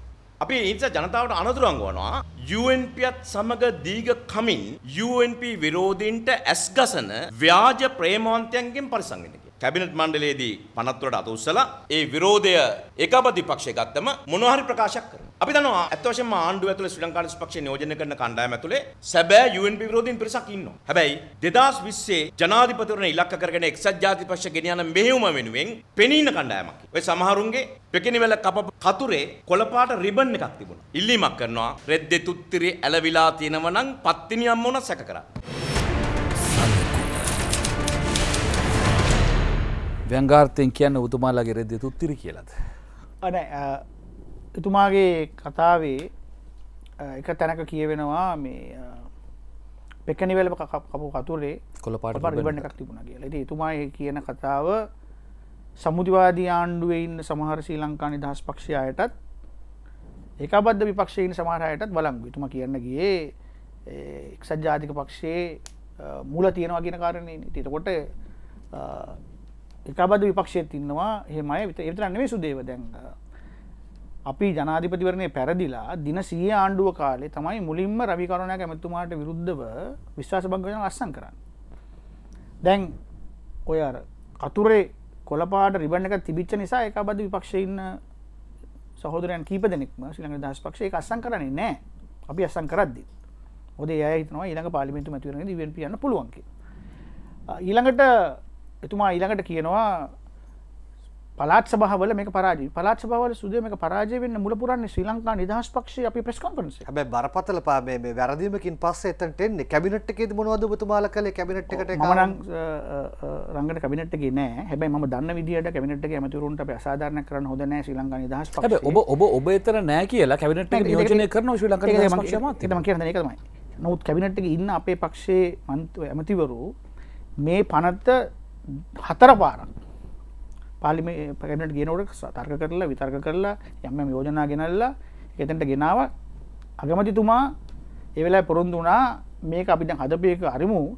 පාලිමේන්තුව මේක වාද කරමු කිය ඉද අසාධාරන කරන්න හොද නෑ මං කැබිනට්ගේ නෑ කියලා ශ්‍රී ලංකා නිදශ මති ඇමතුරුන්ට ඒ අය පැවිනිට ඇතුළෙත් මේ ගැන විස මේ මේක කැබිනට ඇතුළ සංශෝධන ලක්රන්න විශා උත්සහ ගතමක හේතු මේ පනත ගැන තියෙන සුදේ අපිට වන් ස්ටප් ශොප් එකක් ඕනේ.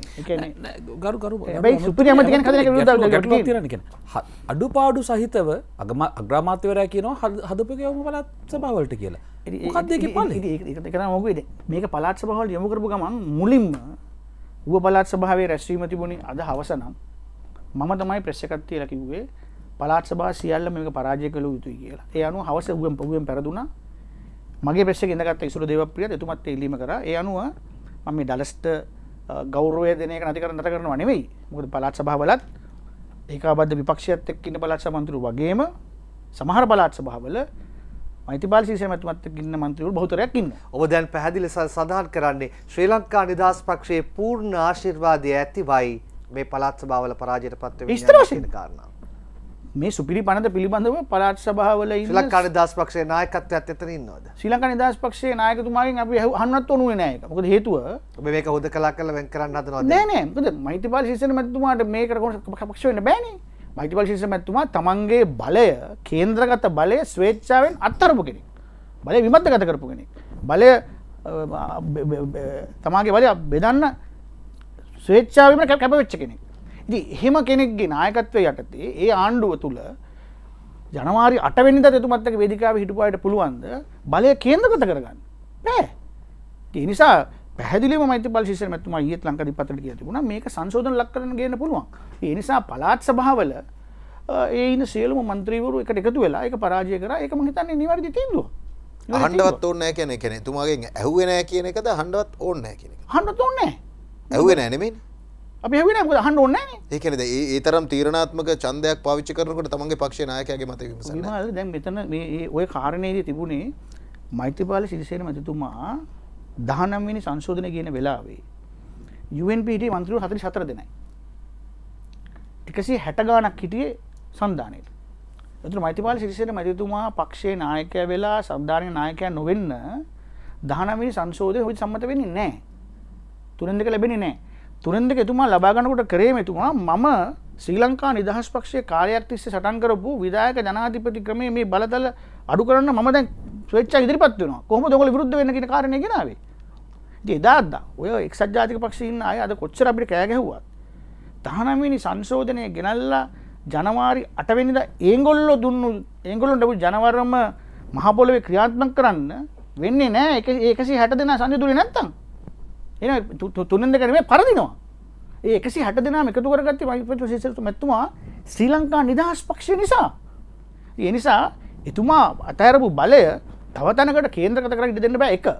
දෙක විමල් කොහොමද අපි මේ ව්‍යස්ථා සංශෝධනය තුළ කතා කරන්නේ අද ස්ටේරිං කමිටි වල සබ් කමිටි වල යම්මාකාරයක පලාත් සභාවලට බලය බෙදන්න. දැ බෙද බෙදල තියෙන බලයත් ආපසු ගන්නවානි. ශ්‍රී ලංගත පත් පත්ත කරදාන්න උතුරු පලාත් සභාව. ඒකොලොත් එක රිජෙක් කරනවානි ඉතින් විමල් ඒ මේ අපිට කටින් කියන්න පුළුවන් අපි මෛත්‍රපාල සිරිසන මැතුම ආරක්ෂා කරන බොල පලයව් දුවපියව් කියලා. මයිතවල් සිමතු ආර්ශ කරන කළ යුතු වන්නේ මොකක්ද මෛත්‍රපාල සිසන මැතුමා දැක්කම හලෝසර් යස්සර් ත්‍රීබක් ෆුල් හිටගන්නක නෙවෙයි. එතුමාට ගාඩ්ක දාලා එතුමා අරගෙන යනක නෙවෙයි. එතුමාගේ ප්‍රතිපත්ති ආරක්ෂා කරන එක ඒක තමයි අපි තමා නැවත ඔබෙන් හැවේ කැබිනට් එකේ දේකට විරුද්ධ වෙන්න නොහැකිවීම පිළිබඳ ඔබ ඒක ලඝු කරන්න උත්සාහදරු හැබැයි ඔබේ ප්‍රකාශයයි මීට දින කීපයකට කලින් නැමති එස්.බී. දිසානායක මහතා කළ ප්‍රකාශය අතරත් පරස්පරයක් තියෙනවා. ඔය මෙහෙමයි දැන් රංගන සමහර වෙලාවට මම කරන ප්‍රකාශන වලට සමහර වෙලාවට අපේ පක්ෂය අය කැමති නෑ. සමහර වෙලාවට මම කරන ප්‍රකාශන කරන විදියට සමහර අය කැමති නෑ. ඉතින් ඒ නිසා ඉතින් ඒ හැම සෑම ඇමති කෙනෙක්ටම සම්මුතිවාදී ආණ්ඩුව ඉන්න හෝ එකබද විපක්ෂ ඉන්න හෝ ඒගොල්ලොන්ට යම් යම් ප්‍රකාශන සම්බන්ධයෙන් ඒගොල්ලන් අදහස් ප්‍රකාශ කිරීම අයිතිය තියෙනවා. ඒ කියන්නේ ඔබ රැවුල කැඳ දෙකම බේර ගන්න එක පැත්තකින් try කරද්දී තව පැත්තක කට්ටිය කැඳ හලාගෙන වගේ ගතිය. ඔව් දැන් හැඳ කැඳ හලාගෙන ඉන්න කට්ටියයි හලාගත්තේ නැති කට්ටියයි මේ ඔක්කොම එකතු කරගත්තේ නැත්නම් විමල් අපි ඊළඟ පළාත් පාලන මැතිවරණයට යනකොට ඒකේ වාසිය ගන්නේ දේශපාලන වශයෙන් අපේ ප්‍රධාන හතුර එක්සත් ජාතික පක්ෂය. ඒ නිසා අපි ප්‍රවේශම් වෙන්න ඕනේ ඊළඟ පළාත් පාලන මැතිවරණයේදී මේ සියලු පාර්ශවයන් එකතු කරගෙන එක්සත් ජාතික පාලන තරඟයට ඒකට විරුද්ධව යන්න. ඔබතුමාගේ මෙන්න මේ ප්‍රශ්නය අහනවා. දැන් ඔබ ඔබ සඳහන් කරපු කාරණේ දැන් සංවර්ධන විශේෂ විධිවිධාන පනත් කෙටුම්පත සම්බන්ධයෙන් ලබන පස්වෙනිදා ආණ්ඩු පක්ෂයේ සියලුම මන්ත්‍රී කණ්ඩායමට කැඳවීමක් කරලා තියෙනවද? අග්‍රාමාත්‍යවරයා සමග මේ සඳහා සාකච්ඡාවකට. තාම ඒ පස්වෙන්ද රැසිවට අපිට කැඳවීමක් කළ නෑ එතන ආණ්ඩු පක්ෂය කියල හැඳින්වෙන්න එක් ජාතික පක්ෂ කණ්ඩායම් පමණක් දන්නේ නෑ යම්කිසි විදිියකින් එහෙම එහෙම එහෙම වෙන්න බෑ නේද? ආණ්ඩු නෑ. පක්ෂයේ එක්සත් ජාතික පක්ෂ මන්ත්‍රී කණ්ඩායම සුදේව- කියලා නෙමෙයි වාර්තා වෙලා පළ වෙලා සුදේව අපි ආණ්ඩු හදලා ආණ්ඩු පක්ෂ කණ්ඩි කන්දායමට දෙගොලම සම්බන්ධ වනා ආණ්ඩු පක්ෂ රැස්වීම තුළ මංගල සමර ඇමතුමා යම් ප්‍රකාශයක් කරන තුරු. ප්‍රකාශයෙන් පස්සේ ආණ්ඩු පක්ෂ මන්ත්‍රී කණ්ඩෑමට ශ්‍රී ලංකා නිදහස් පක්ෂ කණ්ඩයම සඳ සම්බන්ධ වනේ නෑ. අතිකරු ජනාධිපතිතුමා අවස්ථා දේකදී සියලු දෙනාම කැඳවන රැස්වීම් දෙකට හැර. නිස මම මකිවේ පස්වනිද රැස්වීමට ආණ්ඩු පක්ෂ කියලා හැඳින්වෙන්නේ එක්සත් ජාතික පක්ෂ කණ්ඩයම් පමණක්ද? ඒම නැත්තන් අපිට තාර්ධන තිරම දන්නේ නෑ ඒ නිසා අ, මම දන්න විදිරබයි හෙටහරි අනිද්ද හරි අ, කැබිනට් මණ්ඩලය තුළ මේ පනත මති වුණොත් ඒකට සංශෝධන ගෙනන්න කටයුතු කරනවා කියන කාරණය මම දැක්කා මහින්ද අමරවීර මතුමාත් ඒවගේම ඒ ලංකදිප පත්තරයට ජනපතුමත් කියලා තිබුණ. තු ඒ කියන්නේ අර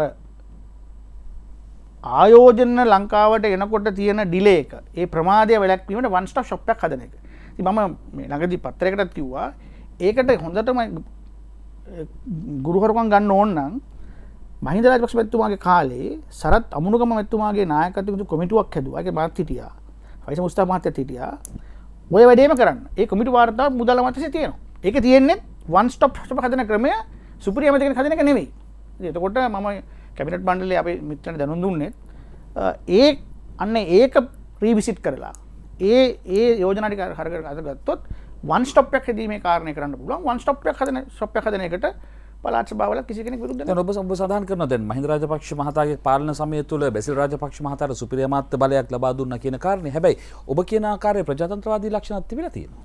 ඒකද ම කියන්නේ හිද රජපක්ෂ මතුමා කාලේ බැසිල් රජපක්ෂ මහත්මයා ඒ සුපිරි බලතල අතරගත්තම නිත්‍යනකුල වනවේනේ එතුමාගේ සහෝදරය වුණා මහිද රජපක්ෂ මැත්තුමා. බලකට උදාහනකට ලෝක ඉතිහාසේ මොන රටේද මුදල්ල මාත්‍යංශ ලේකම් තමමත ලේකම් වෙන්නේ? ආචාර පිබිජය සුන්දර මුදල්ල මාතශ ලේකම් ලේකම්. ලෝක ජය කොහත වෙන්න නෑ ඇැ ඒ බලය එතුමා තනිය හදාගෙන එම සුපිරිවල කරගෙන ගිය. ජනාධිපති හිටපු ජනාධිපතිතුමා කියන විදිහට සුපිරි ජනාධිපතින හිටියනේ. එතුමා කියනවනේ. එතයි සුපිරි ජනාධිපති බලතල බුක්තිවිද හැබැයි මම කියන්න හදන්නේ එහෙමයි කියලා මහිරජ මහත්මය කාලේ මේ ඉඩියමින්නගේ මහලක එකධිපති පාලයක් නෙමේ තිබුණේ. සමාර අවස්ථාවල එම ප්‍රජාතන්ත්‍රවාදීව කටතුර අවස්ථා තිබුණ. ඒකම සමාර අවස්ථාවල තැනට අපි බුක්ති විදින පක්ෂය තුළේ අභ්‍යන්ත ප්‍රජාතවත මුණෙත් නෑ. හෙම හෙමවත් තිබුණා. අද දැන් ඔබ සඳහන් කරම මහින්ද අමරවීර මහතාලා සූදානම් වෙනවා කැබිනට් මණ්ඩලය තුළ මේට සංශෝධන ගෙනෙන්න කියලා. හැබැයි මහින්ද අමරවීර මහතා කියනවා හම්බන්තොටින් ඉඩම් දෙන්නේ නැහැ. ඉඩම් අක්‍ර 1500ක් වගේ තමයි දෙන්නේ වැඩි දෙන්නේ නැහැ කියලා. හැබැයි මලික් සමරවික්‍රම මහතා පැහැදිලිව කියනවා නෑ අපි දෙනවා කියලා. 15000ක් දෙනවා කියලා. ඔව් අවසාන වශයෙන් මේ ගැන මහින්ද අමරවීර මැතිතුමා අපි ළඟ තියාගෙන ස්පීකර් ෆෝන් දාලා මලික් සමර මහතා කතා කරපු වෙලාවෙත් කිව්වේ හම්බන්තොට 1500 දෙන්නේ නැහැ කියලා. වාර්තා පලවෙන්නේ හම්බන්තුරින් අක්කර නවදහක් ඒවගේ මොන මොනරාගල හා ඒ ආසන්න ප්‍රදේශන අක්කර හයිද හක් කිය සුදේව ම දන්න විදිට ශ්‍රී ලංකා නිදශ පක්ෂ අපිටන් කියලා තියන්නේ හම්බන්තුලින් අක්ටෙක් දස් පංශයක් ොඩා දෙන නෑ කිය අන්තිවට පලාත් සභාවලට ඒකටත් විරුද්ධුවට ඒ දන්න ඔබතුමාල දන්න තුහම වෙලා අරකට වගේ. එතන සංග පොඩි ප්‍රශ මතුවන මොද දහතුන්ග නාග සංශෝධ යටතේ ඉඩං සහ පොලිස් බලතල දිය යුතුව තිබුණත් ඒ බලතල ලබාදීම සඳ ගැසට්ක නිකුත්වල නෑ නිසා එතනදි පලාත් සභාවල විරෝධය ම දන්න විදිහට බලංගුව නිසා නොවෙන්න කියන කාරණය. හැබැයි පැහැදිලිවම මහිනම මෙතුමක් කිවේ දැනට මිනිස්සු පදිංචල ඉඩන්නම් ගන්නම නෑ ගත්තත් ගන්න අක්කර එක්දස් පන්සියකට මලික් සමරවික්‍රම මහතා මාධ්‍ය සාකච්ඡාව පවත්වමින් මාධ්‍ය ඉදිරියේ ප්‍රසිද්ධිය සඳහන් කරන අවස්ථා තුනකදී අක්කර 5000 ගාණි ඉඩම් ලබා ගැනීම සිද්ධ කරනවා. ඒ ලබා දීම සිද්ධ කරනවා කියලා. එතකොට මොකද්ද මේ සිද්ධ වෙන්නේ? මම කිව්වේ සුදේව මේ ප්‍රශ්නේ මතුවෙච්ච අවස්ථාවේදී ඒ දිස්ත්‍රික්කීය නියෝජනය කරන අපේ සන්ධාන ලේකම් මහින්ද අමරවීරතුමා කියපු කාරණේ එතුමාට ඒ වෙලාවේ ටෙලිෆෝන් කතා කරා මලික් සමරවික්‍රමතුමාට මහින්ද අමරවීර මැතිතුමාගේ වචනය අපිට විශ්වාසයි. මොකද එතුමා මේ ආණ්ඩුව තුළ සන්ධානය ලේකම්. ඉතුරු එතුමා සමස්ථ ආණ්ඩුව තුළම බලගතු මතයක් නියෝජනය කරන ඇමතිවරයෙක් නිසා. නමුද ප්‍රශ්නතිරන ද පහලොස් දාහට කැමති නෑගෙන දෙක්දස් පන්සේ නිකම් ඕක වෙන අර දඩ මුදල් වගේ තමයි. එහෙමන ඕක වෙන්න උඩින් මාජින්නක පෙන්නලා ඉට පසයට හොනයක වෙන්න? අපේ හිටපු ජනතිපත්තුමාය කාලෙත් අක්කර යම් ප්‍රමාණය හත්සය පන සින්නක් කර සින්නක් කරම බදු සින්නක් කර දෙන්න යෝජනාවත් තිබුණ. ළඟට කළඹ පෝට් සිටිය එක එදී ඒ පෝට් සිට එක උඩින් හෙලිකොප්ටරයක් වුණත් ආණ්ඩු හෙලිකොප්ටරයක් වුණත් ව්‍යාසර කරනවා චීනෙන් අවසර ගන්න ඕන වගේ කොන්දිසි තිබුණා. ඒ ඒ සමහර කොන්දිසි හොඳ නෑ. හැබැයි සමහර කොන්දිසි හොඳ නැත්නම් පළිට පාටම ඒ දවස්වල කිව්වා අපි ආපු ගමන් පෝට් සිට නවත්තනවායි කියලා. එතකොට අපි චීනත් එක්ක යම් ගැටලුවක් ඇති කරගත්තා. එතකොට අපි හිතුවේ අපිට බටහිර අපේ යාළුවෝ මේ අපිට උදව් කරයි කියලා. නමුත් එහෙම උදව්වක් එක නැහැ. ඒ නිසා ආපහු චීනයත් එක්කම රීනෙගෝෂিয়েට් කරන්න වුණා. ඒ රීනෙගෝෂিয়েට් කිරීමේදී මතුවෙච්ච සමහර කාරණා මට පේනවා නැවත නිගෝෂියට් කර යුතු පවතිනවා. ඉතින් එකක් තමයි කවුරු මොනවා කිව්වත් හම්බන්තොට වරාය හදල තියෙන්නේ විමල් සේදමාවත කියන එකට ඉතාම ළඟ තැනක නිසා කවුරු කොවිදිර කිව්වත් හම්බන්තොට වරාය හදපු එක හොඳයි. ඒක හදපු ක්‍රමේ ක්‍රමවේද ඒවා ගැන තියෙන පරීක්ෂණය මම කියනකොද හේතුව වර්තමාන චීන නායකයාගේ පෙට් ප්‍රජෙක්් එක.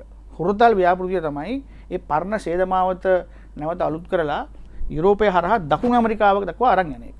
ඒ නිසා එවැනි තත්වයක් තුළ අපට ගන්න පුළුවන් වාසි රාශියක් තියෙනවා හැම්බන්තොට වරායෙන්. ඒක මැනොත් හම්බන්තොට ඉදිකරපු ගුවන් තොටුපල එක් ජාතික පක්ෂයත් ගුලගේ අන්ඩුව කාල ඊට පොඩක් හයි ගතුර හතන්න මුල්ගලක්ම තිබ නමුත් ඒ ගුවන් තොටුපල මේ වෙලාවේ සුදුවලියෙක් බවට පත්වෙලා තියෙන විවිධ කාරණා නිසා. ඒ නිසා අපිට පුළුවන්කම තිබෙනවා නම් ඒ ගුවන් තොටුපළත් මේ වරාය කව් කරගම යම් ආකාරයක පොඩි ව්‍යාපෘතියකට යනකොට ඒ එන කට්ටියක් එක යම් නිගොෂේෂන් යන්න හොඳයි.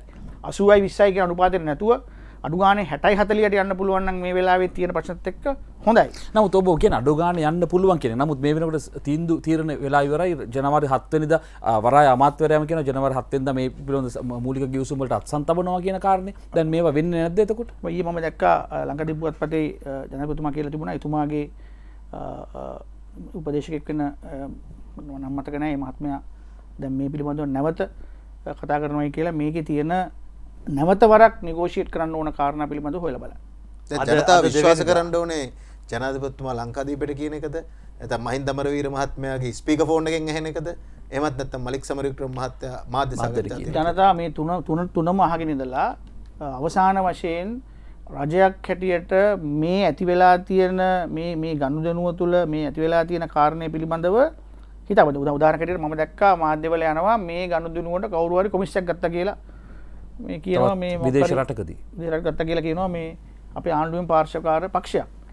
ඊය මම දැක්ක ඒ පක්ෂේ ඒ මහත්‍යගේ අපහනකොට එතුම උත්තර නොදීන්න ඇති නිසා සෑම කාරණයක් පිළිබඳව මයි සමරි සමිකතුමා කියන්නෙත් වගේතු ඇමතිවරෙක් මහි නමරතුමා කිය මගතු ඇමතිවරෙක් ජනාධිපතුමා උත්සාහ කරනවා දැන් මේක මැදතනකට ගන්න.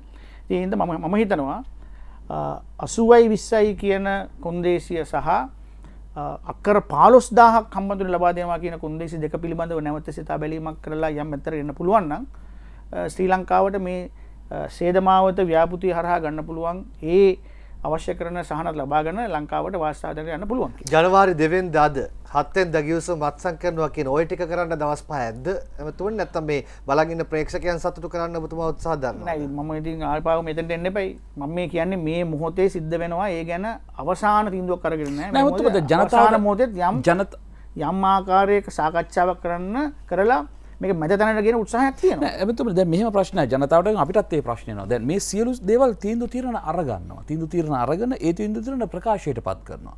එක් ජාතික පක්ෂ පාර්ශවෙන්තා මේ ප්‍රකාශයන් සිද්ධ වෙන්නේ. ඒ ප්‍රකාශයන් සිද්ධනාට පස්සේ තමයි රජ නියෝජනය කන ශ්‍රී ලංක නිදහස් පක්ෂ කණ්ඩායම මේ පිළිබඳව කතා කරන්න පටන් අවදිවේ එකන දන්න ඒකන සුදේව ඒ ඒවා දැනගත්ත ගමම්ම ඒකට මංමයකට විරෝධය පානහි මම මහන්නේ එක පලයන්- පලයන් ඉන්න කරන්න කියලා තීරණ කියන්නේ. තීරණය ගන්නේ දැ මේ සමුතිවාදී ආණ්ඩුවක් කියල උතුමන්ලා කියන්නේ. තිීන්දු තීරණ ගන්න කොතනින්ද? එකන සියල්ල අවසාන වෙලා මූලික කෙටුම්පත් සකස් කරට පස්ස කියනවා අමතන ප්‍රශ්න ඇතින අපි සංශෝධන කියනවා කියලා. කියන කියන්න ද කතා කරන්න හරියටම හරි සමහර තීන්දු සම්මුතිවාදී ආණ්ඩුව තුළ සමකොටස්කාරෝ හැටියට අපි ඉන්න තත්වය තුළ අපිව සමකොටස්කාරෝ නෙවෙයි සමහර තීන්දුර අඩු කොටස්කාරෝ හැටියට සලකලා ක්‍රියාත්මක වෙන නිසා තමයි අපට සමුදිවාදී ආණ්ඩුව ඇතුළේ අපේ විරෝධ දක්වන්න වෙලා තියෙන එහෙම විරෝධ දැක්වම තමයි කියන්නේ නෑ නෑ උඹලා පළයෝ කියලා. ඒ නිසා අපි ආවේ ශ්‍රී ලංකා නිදහස් පක්ෂ මධ්‍යම කාර්යසභාවේ තීන්දුවකින්. අපි ඒකාබද්ධ විපක්ෂයේ අපේ ඉන්න සමහර මිත්‍රයන් කියන විදිහටවත් එක්සත් ජාතික පක්ෂය ඉන්න අයටවත් ඕන විදිහට නෙවෙයි නැවත ඉන්නවාද නැතික තීන්දුව කරන්නේ ශ්‍රී ලංකා නිදහස් මධ්‍යම කාර්යසභාව හරහා. ඔබ කියනවා වගේ මිතාම නිවැරදි. සමහර තීන්දුව තීන්දුව ගැනීමේදී ශ්‍රී ලංකා නිදහස් පක්ෂය අපි අඩු කොටස්කාරෝ හැටියට සලකනකොට අපේම අ, පක්ෂේ නායකයා මෛත්‍ර පක්ෂ මෙතුව ජනපතිපුටුව තියාගෙන අ, අපි සිද්ධ වෙනවා අපේ විරෝධයෙන් දක්වා අපි බයිමගේ කරම කරන්න ඒකන ඒක ඒකබද විපක්ෂය කියන්නේ එක්සත් ජාතික පක්ෂයෙන් බැහලෙන්න්න අපි අපේ මාණ්ඩුවක් පිටම කියලා නෑනේ දලස් කියන එක නෙවෙයි දලස් කියන්නේ ඒකාබද්ධ විපක්ෂයට එන්න අපි ඒගොල්ලෝ ආණ්ඩු කරපු විපක්ෂයමු කියලා. දැන් ඒකත් වැරදීනේ. දැන් අපි අපි දේශපාලනය කරන්නේ ආණ්ඩුවක් හදන්නද එහෙම නැත්නම් විරුද්ධ පක්ෂයකට? ඇමතුම දැන් ඔබතුමන්ලා නොදැන ආණ්ඩුවේ දේවල් සිද්ධ නොබතුමා කියන ආකාරයට ඉතින් සමහර එතකොට දේවල්, ඒ ඒ දේවල්. දේවල් සිද්ධ වුණාට ඒවා ප්‍රකාශයට පත් වුණාට පස්සේ තමයි විරෝධය දක්වන්නේ ඉතින් විපක්ෂයට ගියානම් ওই කාරණේ කරන්න පුළුවන් ඔයිට වඩා හොඳට එතකොට කියන්න පුළුවන් අපිට අඩු සැලකිලි අරෝමය මුකුත්? සුදේව දැන් අපි විපක්ෂයට ගිහිල්ලා අපි එහෙම මහ බැංකුවේ අධිපතිතුමාගේ කාර්ය දීත් කරන්න එපයි කියලා අහනවද? නෑ. අපි මහ බැංකුව අධිපතිතුමාගේ මේ මහා බැංකුවේ පාත්‍ර පාත්‍රවත්ත කෙනාගේ කාලය ඉදි කරගත්තේ නැත්තේ සම්මුතිවාදී ආණ්ඩුව හිටපු නිසා. පළවෙනි අයවැය කියනකොට සමුතිවාදී ආණ්ඩුව ඒ අයවැයේ තිබුණේ සියලු දෙනාම නෙ- මේ- මේ සියලු දෙනාටම සතුට වෙන්න බැරි කාරණ. මොකද කිසිම සාකච්ඡාවකින් තුරුවෙක් ගෙනාව. හැබැයි දෙවනි අයවැයේදී අපිට පුළුවන් වුණා එහෙම කරොත් මට උදව්වෙන්නේ නැහැ කියන කාර්ය පැතිරෙන්න කරගෙන යම් යම් කාරණාවලට 100ක් නෙමෙයි යම් යම් කාරණාවලට අ, අයවැය තුලට අපේ යෝජනා ගෙනත් ඇතුල්- ඇතුල් ඇතුල් කරන්න. ඊළඟට වැට්ටක කියන පෙන වෙනපු වෙලාවේ තිස්තුන් දහෙන් එහාට යන්න කියලක දවසක ටර්නෝර එකන බුලත් විට කාරයට ටෙපට්ටක් වදින නමුත් අපේ මැදිහත් වීමක ලක්ෂය දක්ව වැඩි කර ගැනීම අපිට හැකියාව ලැබුණා. අපි- අපි ලක්ෂ තුනක් දක්ව යන්න ඕනකම තිබුණේ. දවස දවසක ටර්නෝරක ඉතින් එවැනි තත්ත්වයන් තුළ අ, සම්මුතිවාදී ආණ්ඩුව ඇතුළේ දඟ පද හිටිය නැත්තං ආයි පාරක් මොනොහරි කරලා පර පැරණි මනාප ක්‍රමයටම මේ පලාත්මාල කන්දයක් ගෙන යන්නට උත්සාහධර දැරීමක් සිද්ධ වෙන පුළුවන්. නමුත් අපි ඉන්නසේ කරන දෙන්නේ නෑ ඒ නිසා එවැනි සමහර දේවල් විරුද්ධ පක්ෂීනවට වඩා ආණ්ඩු ඇතුළේ කරගන්න පුළුවන්. හැබැයි දිගින්දිගටම දිගින්දිගටම ඒ ඒවා විදරාගෙන ඉන්නවාද කියන කාරණා සියල්ලමත් ඊළඟට අ, අලුත් මැතිවරණ ක්‍රමයක් ව්‍යස්ථා සංශෝධනයක් කියන කාරණා පක්ෂ දෙකතු වෙලා කරන්න පුළුවන් බැරිද කියන කාරණත් සැලකිල්ට අරගෙන තමයි අපිට අර අවුරුද්ධ අවසාන වුණයින් පස්සේ නැවත සම්මුතිවාදී ආණ්ඩු කියන සංකල්පයේ පරීක්ෂණය සාර්ථක දසාර්ථකද කියලා තීන්දුවක් ගන්න ඔබේ පක්ෂ මහලේකම්වරයාම කියන අවුරුදු දෙකේ සීමාවක් තියා අපි අවුරුදු පහම ඉන්නවා කියලා. ඔව් දැන් පක්ෂේ මාලේකම්තුමා ඒක කිව්වා ඒක එතුමාගේ පෞද්ගලික මතය. පක්ෂ මතය නෙමෙයි.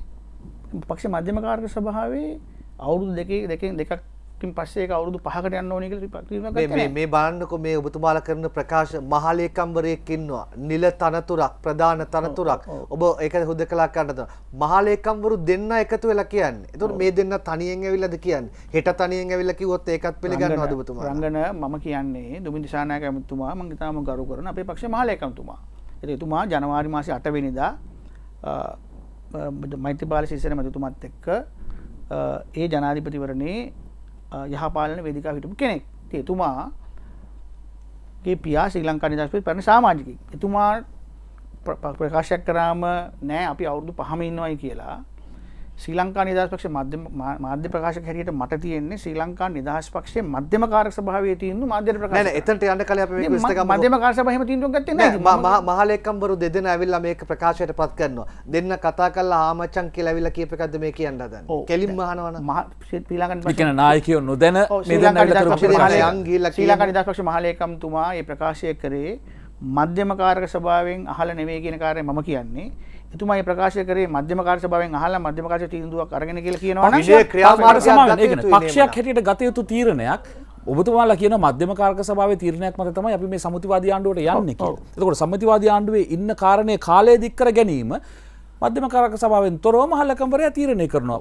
බරපතල තත්ත්වයක් නේ. පක්ෂය තුල පක්ෂය තුල ඔබ කියනවා නම් වර්තමානයේදී ඔය කියන ප්‍රජාතන්ත්‍රවාදය තියෙනවා නම් මේක කතා කරන්න පුළුවන්. ඉතින් ප්‍රජාතන්ත්‍රවාදය තියෙන නිසාමයි මහලේකම්තුමාට එහෙම කියපු කාරණයක් තව කෙනෙක් එහෙම කියන කාරණයක් ඩිලාන් පෙරේරා මේ කියන කාරණයක් සියල්ලම අවුරුදු දෙක අවසානයේදී මධ්‍යම කාරක සභාව විසින් තීන්දුව කරගන්න ඕනේ. මහලේකම්තුමා කියන විදිහට අවුරුදු 3ම යන්න පුළුවන්ද? ඩිලාන්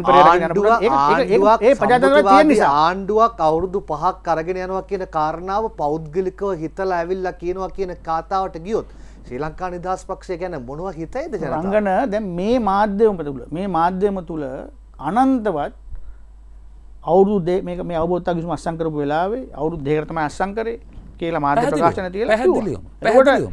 ඒ නිසා මේ මාධ්‍ය- තුලම තමයි අපි අපි විකාශය කරේ ওই දෙදෙනා එකට ඇවිල්ලා කරපු මාධ්‍ය සාකච්ඡා. හැබැයි පොඩි වෙනසක් තිබුණා මධ්‍යම කාරක සභාව රැස් වෙලාගත් තීන්දුවක් අනුව තමයි අවුරුදු දෙකක් ඉන්නවා කියන තීන්දුව කරලා අවබෝධ විසුම අස්සම් කරලා අවබෝධ ගිවිසුමේ තියෙන අවුරුදු දෙකයි අවබෝධ ගිවිසුම පත්‍රවල පළ නෑ, වුණා අපි අපි ඒක තමයි අපි ඒක තමයි මම අහන්නේ. කියන්නේ අපේ පක්ෂය තුළ සමහරලාට අපේ පක්ෂේ ජනාධිපතිතුමා වර්තමාන ජනාධිපතිතුමා කියන සමහර කාරණා. එතුමා එතුමා ඉන්න කාරණය තමයි පැහැදිලි උදාහරණයක්. එතුමා නැවත ජනාධිපති ඉල්ලන්නේ නැහැ. හැබැයි අපි එතුමාට කිව්ව මධ්‍යම කාලේ එතුමාට හිතුව ගන්න බෑ. එතුමාගේ පෞද්ගලික මත එතුමාට කියන්න පුළුවන්. හැබැයි ඒක තවදුරටත් බලංගු නෑ මධ්‍යම කාරක සභාවේ තීන්දුව මත් ගන්නකම්. මධ්‍යම තීන්දුව කරොත් එතුමා එතුමා ඉල්ලන්න ඕක. ප්‍රජාතන්ත්‍රවාදයද?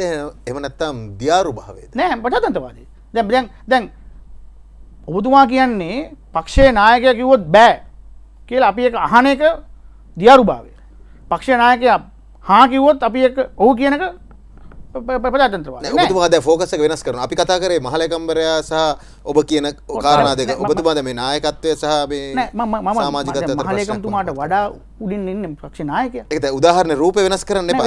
රූපන මගේ පක්ෂ නායකයා කියන කාරයට අපිට විරුද්ධවීම හැකියාව තියෙනවා නම් පක්ෂේ මහලේකම්තුමා කියන මතයටත් අපි විරුද්ධම හැකියාව තියෙනවා ඒ මගේ මගේ මගේ විරුද්ධත්වය මගේ විරුද්ධත්වය ප්‍රසිද්ධිය වි- විරුද්ධත්වය දැක්වීම අපි දැක්කේ නැහැ කාගේවත්. එහෙනම් ඔගොල්ලෝ මාධ්‍ය සාකච්ඡා වාර්තා කරලා නැහැ.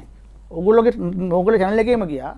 එතුමා එහෙම කියලා සුමාන දෙකකට පස්සේ මාධ්‍ය සාකච්ඡාවේදී මම කියනවා ඒක එතුමාගේ පෞද්ගලික මතය. ඒ ඒ ඔව් දැන් කියපු කාරණේ තමයි පෞද්ගලික මතය කියලා. මං කියන්නේ ඒ දවස්වල මං කිව්වේ. ඒ කියන්නේ ඔය ප්‍රකාශය කරේ කවද්ද? මහනුවරදී උද්ඝෝෂණ එනකොට. ඊට සුමාන දෙකකට පස්සේ තියෙන මාධ්‍ය සාකච්ඡාවකදී මගේ සාකච්ඡා මිත්‍රෙක් මාධ්‍ය මිත්‍ර ප්‍රශ්නය අහනවා. මම කියනවා ඒක දුමින් දිසානායක මේ මේ මෙතුමාගේ පෞද්ගලික මතය අපි අවුරුද්දක් අවසන් වුණායින් පස්සේ එතුමාගේ මතය හරිද නැද්ද කියලා බලනවා කියලා. මම එදත් ඒක කියනවා. ඒ නිසා මම නම් හරි හිතනවා ප්‍රශ්නකට ලක් වෙන්නේ හෙට ඇවිල්ලා මහලෙකම්වරු දෙන්න තවත් එකක් කිව්වොත් ඒ දෙක මේ දෙන්නගේ පෞද්ගලික මතය කියන තැනට ගත්තොත් හරියට නිකන් මොන්ටිසෝරියක් කතන්දරයක් කියනවා වෙන රංගන එක්සත් ජාතික. එක්සත් ජාතික පක්ෂයේ මහලේකම්තුමා වුණත් දන්නවා අවබෝධතා කිව්වම අවුරුදු දෙකකට කියලා. ඒ අවබෝධතා කිව්සුමේ අවුරුදු පහකට කියලා කොහෙවත් නැහැ. ඒ ඒ අවබෝධතා කිව්සුම පත්‍රවල පළ වුණා.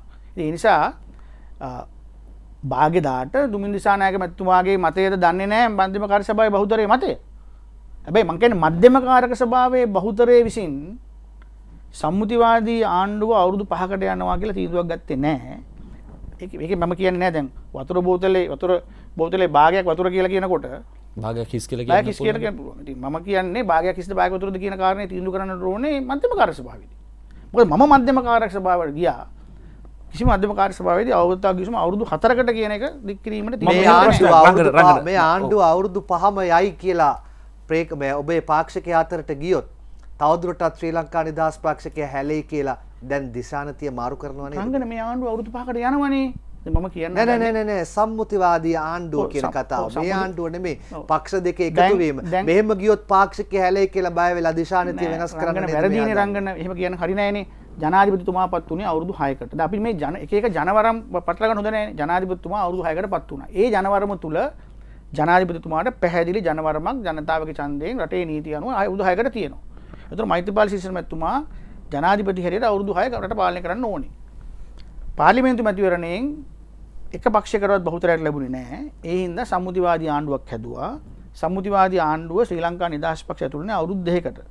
ඒ අවුරු දෙකින් පස්සේ ශ්‍රී ලංකාවේ ඉඳලා තීන්දුව කරොත් අවුරු තවත් අවුරු තුනක් ඉන්නවයි කියලා අවුරුදු පහම සම්මුතිවාදී ආණ්ඩුව යනවා. එදාට ශ්‍රී ලංකාවේ අපි අයින් වෙනවයි කියලා ඒත් ඒ ආණ්ඩුව වැටෙන්නේ නැහැ. ශ්‍රී ලංකා නිදහස් පක්ෂයේ හේතුව ආය ආය ආය ආණ්ඩුවක් හදන්න ජන පාර්ලිමේන්තු මැතිවරණයක් කියන්නේ අවුරුදු හතර මාර්ගෙන් පස්සේ. මධ්‍ය මධ්‍යම කාරක සභාව තීරණය කළාද දුමින්ද දිසානායක මන්ත්‍රීතුමා අමාත්‍යතුමා ඒ කරපු ප්‍රකාශය පෞද්ගලික මතයක් කියලා. නෑ. එන ඔබ කොහොමද කියන්නේ ඒක පෞද්ගලික මතය? ඒක ඔබේ පෞද්ගලික මතය. ඔව්. මම කියන්නේ මම එහෙම කියන්න හේතුවක් තියෙනවනේ. මධ්‍යම කාරක සභාවේ අවුරුදු දෙකකින් එහාට යනවා කියලා තීන්දුවක් නැහැ. ඉතින් මගේ පෞද්ගලික මතය ශ්‍රී ලංකා ශ්‍රී ලංකා තමයි මධ්‍යම කාරක සභාව තීන්දුව කරන තුරු අවුරුදු දෙකකින් එහාට යනවායි කියලා දැනට තියෙන්නේ අවුරුදු දෙකයි කියලා. හැබැයි ඒකෙන් හැගෙන්නේ නැහැ අවුරුදු දෙකකින් පස්සේ ආණ්ඩුවට යනවා කියලා. මොකද ඊට පස්සේ පාර්ලිමේන්තු මැතිවරණයක් තියලා ආණ්ඩුවක් කරලන්න බෑ. දහනම සංශෝධනය අනුව. ඒක නාමලට පස්සේ තතු ඉස්සුවා, චමලට පස්සේ තතු ඉස්සුවා. ඊට පස්සේ අපි අපි ඉන්නවා නම් අවුරුදු පහම යන්න යන ක්‍රමේ හදාගන්නට ඕනේ. අපි අපි ඉන්නේ නැහැ කියලා තීන්දුව කරොත් අතිකරු ජනාධිපතිවරට තීන්දුව කරන්න වෙනවා මොන අගමැති මොන කැමැති මණ්ඩලයකට යන්නේ කියලා. මධ්‍යම කාර්යසක මතය වගේ අපරදෙන් සුදේ. ඔබයි. මධ්‍යම කාරක සභාවේ මතය විදිහට තමන්ගේ පෞද්ගලික මත කිව්වා මධ්‍යම කාරක සභාව ගන්න මොකක් හරි ක්‍රියාමාර්ගයක් එහෙම තියෙනවද? ක්‍රියාමාර්ගයක් ගත යුතුව පවතිනවා මධ්‍යම කාරක සභාවේ ඒ ඒ පිළිබඳව සාකච්ඡා කරපු දවසට. ඒ අඩු ගානේ සාකච්ඡාවත්වත් කළා නැහැ මේ මේ වෙනකම්. දැන් මේ යන විදියට තමුන්නාසලා ප්‍රශ්න කරන විදියට ඒක ඉතාම ඉක්මනින් සාකච්ඡා කරන්න වෙයිනේ. ප්‍රශ්න නොකළා නම් ඒකත් නැහැ නේ. නෑ ප්‍රශ්න ප්‍රශ්න නොකර ප්‍රශ්න කරේ අද මම කිව්වා මීට සුමා මීට මාස ගාන ඉස්සෙල්ලා. එතකොට ප්‍රශ්නයක් තිබුණේ නෑ. ඔබගේ මෙහෙම ප්‍රශ්නයක් අහන්න. ඔබේ පෞද්ගලික මතය කියන්න. පක්ෂයේ මතයවත් ඔබ නිදහස් පක්ෂයේ මාධ්‍ය ප්‍රකාශකවරයා හැටියටවත් නෙමෙයි. මේ මහලේකම්වරු දෙන්න මේ ප්‍රසිද්ධ වෙලා මේ කරපු ප්‍රකාශය කාව සතුටු කරන්න කරපු ප්‍රකාශයක්ද? මම හිතනවා ඒ වෙලාවේ මහලේක මුරුදනේ ප්‍රකාශය කරේ උද්ඝෝෂණයක් ආවනේ. ඒ උද්ඝෝෂණයට සහභාගී වෙන පිරිස් පිළිබඳව ඇතිවෙච්ච යම් යම් ශස්තමයක මතක දෙගිඩියාව මගේ මගේ මගේ පැහැදිලි ස්ථාවරය පිළ මගේ පෞද්ගලික මත හොඳයි. අපි විරාමයට යන විරමෙන් පසු යලිමුණ කෑ සීමාවෙන් එහා දේශපාලනය.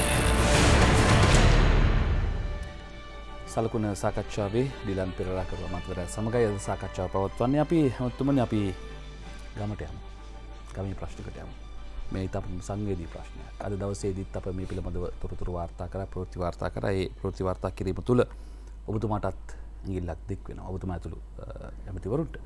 අපි මේ උමා ඔය සිද්ධිය සම්බන්ධයෙන් සහ ජනතාවගේ පසුතාව පිළිබඳව විමසා බලමු.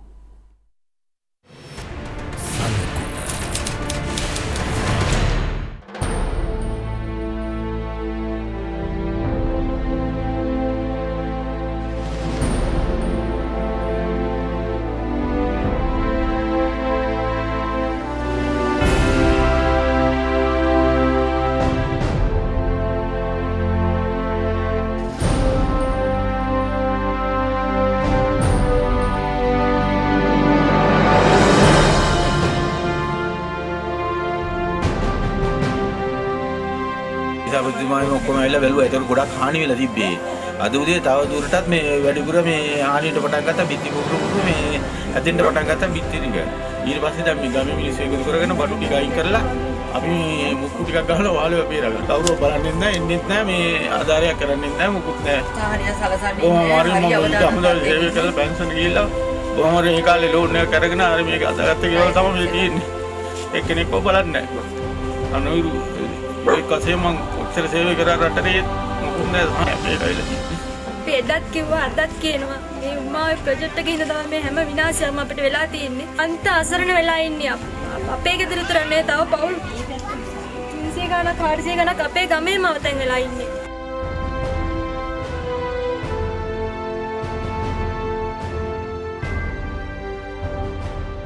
ආපදාවට පත් වෙලා ඉන්නේ අපිනේ කොළඹ කට්ටිය ඒක දන්නේ නැහැ. ඒක තමයි මෙතන තියෙන ලොකුම ගැටලුව. මේ පාලකයෝ මේ දයා බලන්නේ නැත්නම් අපි මේ ජනතාවත් එක්ක ඇවිල්ලා ඩිලාන් පෙරල්ලාගේ නිමල් සිරිපාල් සිල්වලාගේ චාමර සම්පත් ජනනායකලාගේ ගෙවල් වල පදිංචි වීමේ කාලේ අපිට ඇවිල්ලා තිනවා.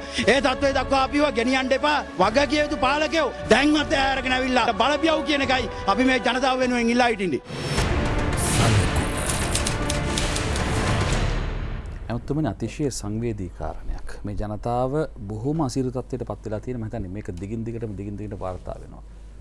ඔබට අවස්ථාව සුදේව මේක ඉතාම සංවේදී ප්‍රශ්නයක්. මේකේ මම උත්සා කරන්න යන්න ඉතිහාසේ වෙච්ච දෙවල් ගැන කියන්න. ඉතිහාසය ඔය ඔය පිරෙක්ට යෝජනා වෙච්ච වෙලාවේ වරිමාර්ග ඇමතිට චමල් රාජපක්ෂමතුමා නියෝජ්‍යමතිට ජාති රණවීරමතුමා වෙලාවේ පාලිමින්තු ඇතුළ ඇතුළේ කාර්ක සභා කාමරති වෙච්ච වාදය ගැන පත්තර ලදියම යගෙන කියන්න උත්සා කරන නෑ හැබැයි මේ ඉතාම සංවේදි ප්‍රශ්නයක්.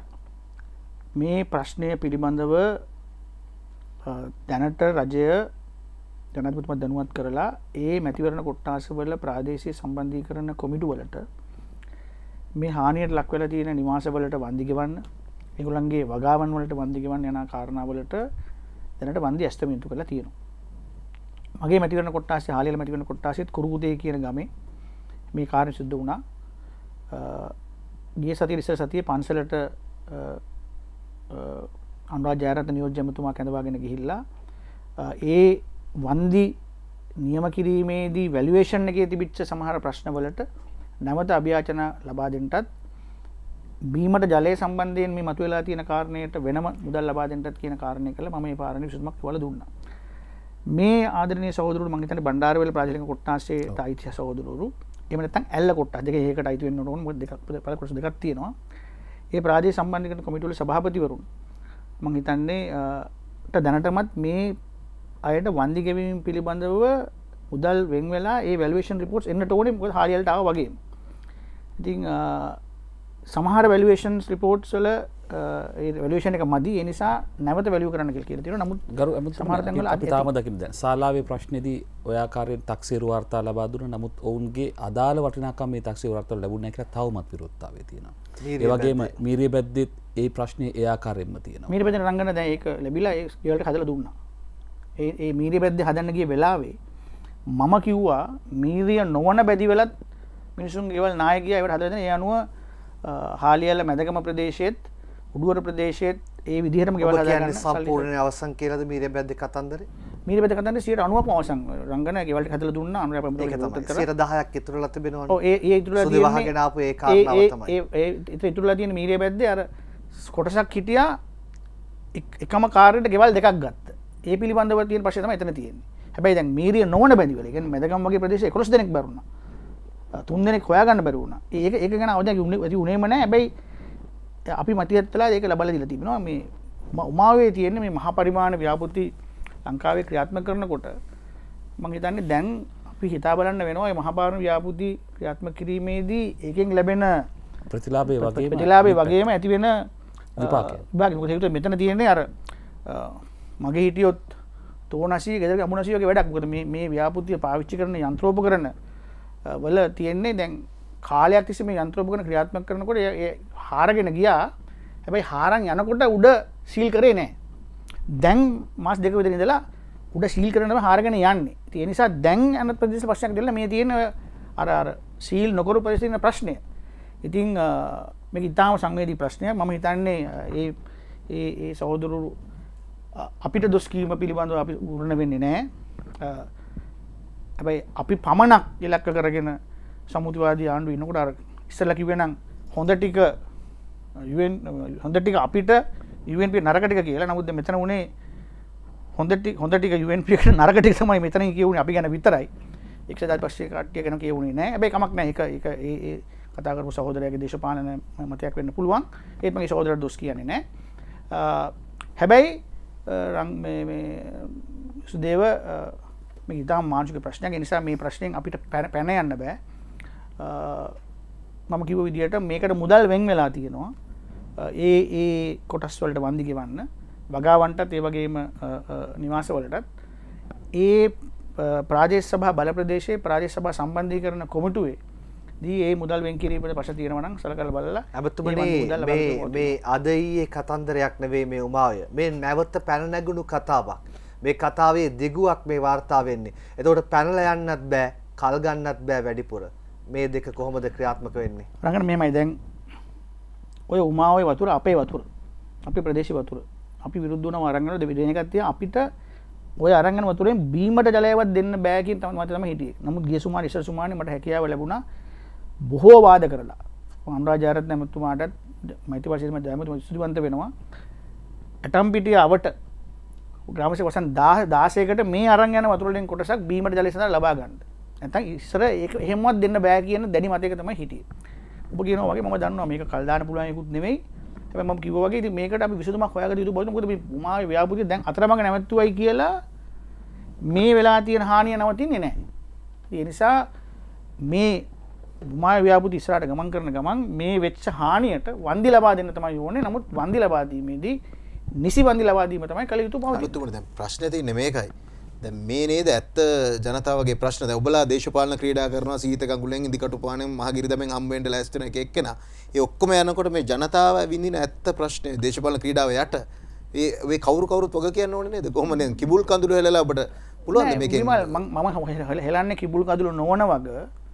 මම භාරව ඉන්න හාලියල මැරගේ මැතිවරණ කොට්ටාසේ ඔය උමාවය ඒ ව්‍යාපතිය නිසා අව අවදානම ලක්වෙච්ච කුරුකුදේ ගම කියන ප්‍රදේශය කුරුකුදක පන්සලක දනගන්න පුලන් පන්සල ප්‍රසිම කරේ මම ඔබතුමා කියන විදියට රත්නපුරෙන් සහ හැටන් පාරෙන් යන දේශපාලකම කතා කරන ගමන් ඒවටත් මැදිහත් වෙලා කටයුතු කරලා තියෙනවා. ඔය උමාවෙන් වතුරක් බුලියක් මිදක් දෙන්න බෑ කියපු ඔය ව්‍යාපෘතියම මම අටම්පිටිය අවට ග්‍රාමශය වසන් දාසයකට වතුර දෙන්න අවශ්‍ය කරන ජලය ලබාගෙන තිබෙනවා. ඒක මම කල්පමන් කියන ඔබතුමාට මට මගේ මැතිවරණ කොට්ටාසේ හාලියල කියලා බණ්ඩාරවල මටිවන කොට්ටාසේ ප්‍රශ්න මගාරන්න බෑ. ස්ත්‍රික්්‍ය අතරන්න බෑ ම කිඹුල් කඳුල හෙලනවා නෙවෙයි. හැබැ ම කියන්න හදන්නේ දැනට ඒ ප්‍රාජික කොට්ටාසවල සම්බන්ධී කරන කොමිටුවල්ලට සභාපතිවරුන්ට බාරදීලා තියෙනවා මේ වන්දි මුදල් ලැබුණයින් පස්සේ වන්දි මුදල් වල තියෙන අඩුපාඩුකම් සොයල බලලා ඉතාම ඉක්මෙන් කටයුතු කරන්න. මොකද වන්දි මුදල් වලට මුදල් අනුමත වෙලා තියෙන මම මේ කිඹුල් කඳුල හෙලවනේ මට කිඹුල් කඳුළු මං හෙලන්නෙත් නෑ මම මේ වගකීමෙන් පැහැර යන්නෙත් නෑ. මොකද හේතුව මට සන්ධානය ආණ්ඩුව කාලය ආරම්භ කරපු ව්‍යාපෘතියක් නිසා මට කියන්න බෑ ඒ කාලෙම විරුද්ධ වුණා ඒනට කියන දේ ඇහුවා කියලා මට මිදෙන්න බෑනේ. ඒ නිසා මම කොයි මොහොතකවත් වගකීමෙන් මිදෙන්නේ නෑ. ඒ නිසා අපිට ඇඟිල්ල දික් කරලා අපිට එහෙම ඒ කෑගහපු සහෝදරයා කෑගහුව දේශපාලන වශයෙන් තියෙන ප්‍රශ්නයක් නිසා ඒක වෙනම එකක්. නමුත් එහෙම කෑ ගැහුවත් ඇතුම ඔබ හොයාගන්න අවසාන වශයෙන් හඬ පට දෙන කෙනගේ දේශපාලන වටිපිටාව මේ පිළිබඳ හොයාගන්න ඔබතුම ඉක්මන් වෙනවා.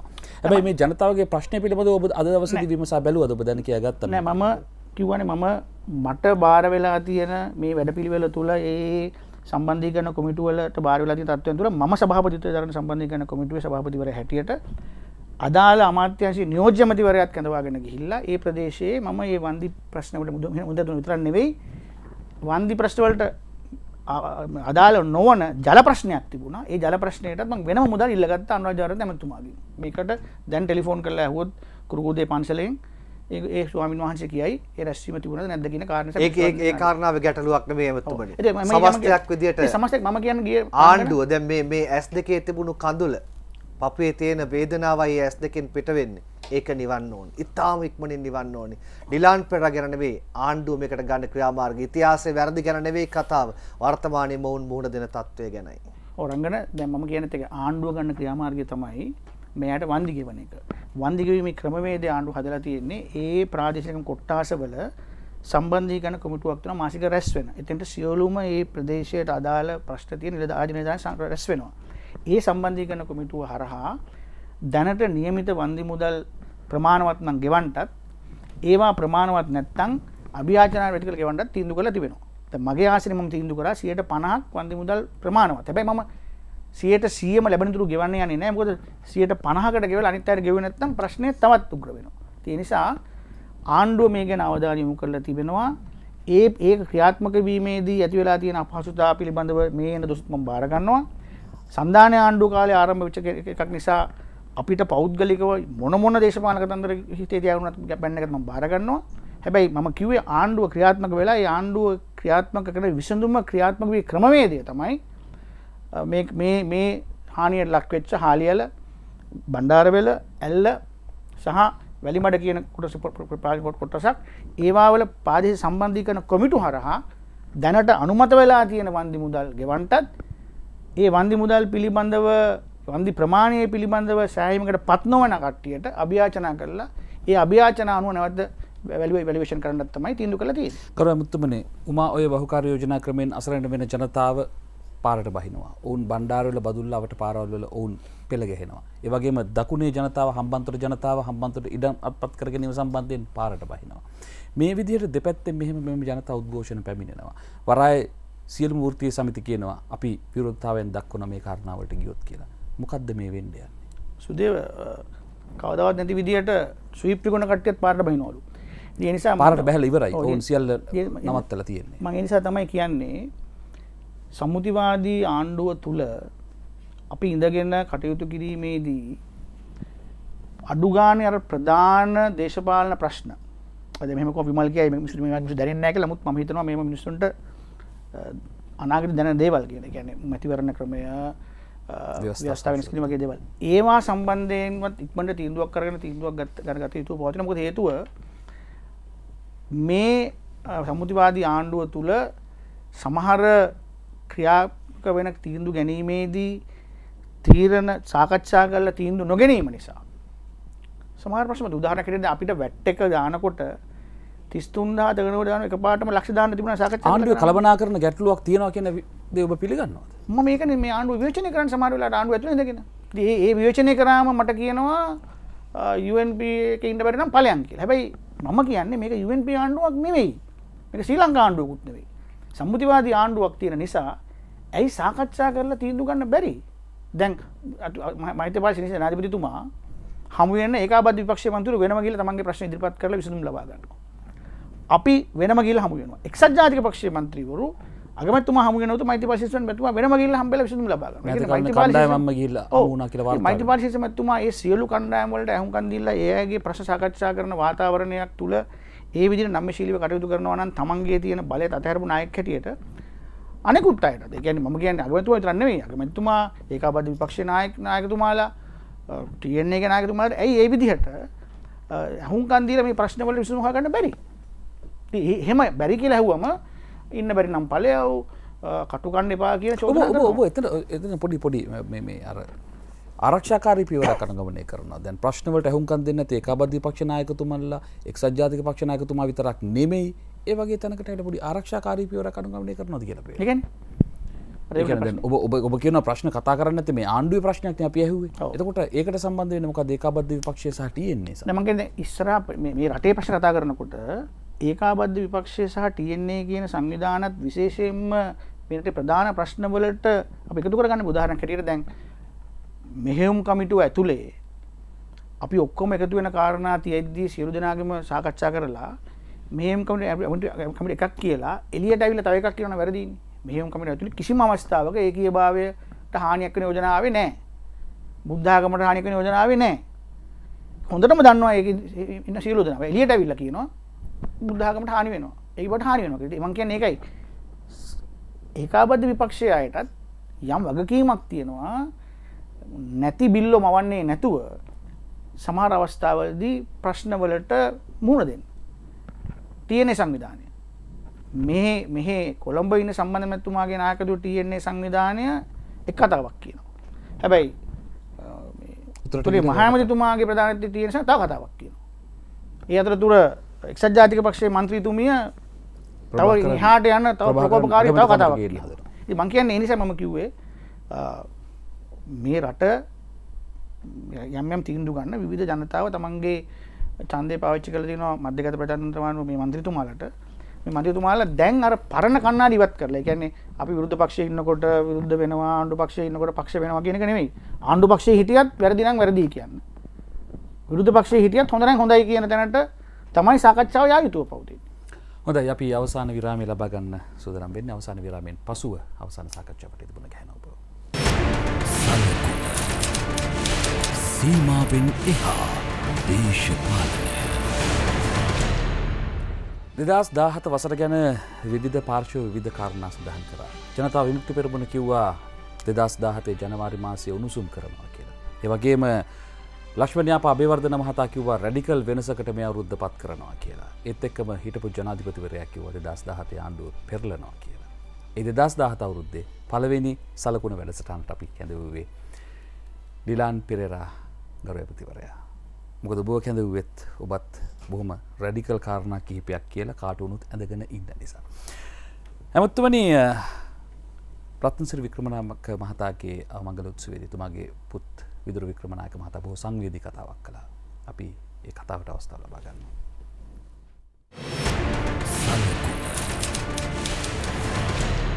මට මතකයි ගිය අවුරුද්දේ මේ පිට්ටනියම තාත්තාගේ උපදෙස් මත අපි රැස්වීමක් ලෑස්ති කරන්න බැලුවා. වර්තමාන ජනාධිපති මෛත්‍රීපාල සිරිසේන මැතිතුමත් මහින්ද රාජපක්ෂ මැතිතුමාවත් චන්ද්‍රිකා බණ්ඩාරනායක මැතිනියවත් එකම වේදිකාවකට ගේන. අවාසනාවකට වගේ එදා ඒ උත්සවය කරන්නට උනේ නැහැ. අපේ පක්ෂය විරසක වෙන අවස්ථාවලදී එතුමා බොහොම දුක් වුණා. නිරන්තරයෙන් මට කියපු දෙයක් තමයි කොහොම හරි පක්ෂය එකක් හැටියට තියාගන්න. කොහොමද අපි ඒක කරන්නේ? මම කවුද? මට ඒ ශක්තිය තියෙනවා. මං ඉල්ලනවා මහින්ද රාජපක්ෂ මැතිතුමනි. ඔබතුමා මේ රට වෙනුවෙන් ගත යුතු තීන්දුව තීරණ ගත්තා. ඒ හැම එකක් පිටිපස්සෙම ඔබතුමත් එක්ක මේ රටේ මිනිස්සුත් අපිත් හිටියා. අපේ තාත්තත් ඔබතුමත් එක්ක හිටියා. ඉතින් මම බොහොම ගෞරවයෙන් ඉල්ලා හිටින්නේ. මේ රටේ අනාගතය වෙනුවෙන් අපි කොහොම හරි එකතු වෙලා යා යුතුයි. මම දන්නේ නැහැ කොහොමද කරන්නේ කියලා. ඒ තාත්තගේ නිරන්තර ඉල්ලීම.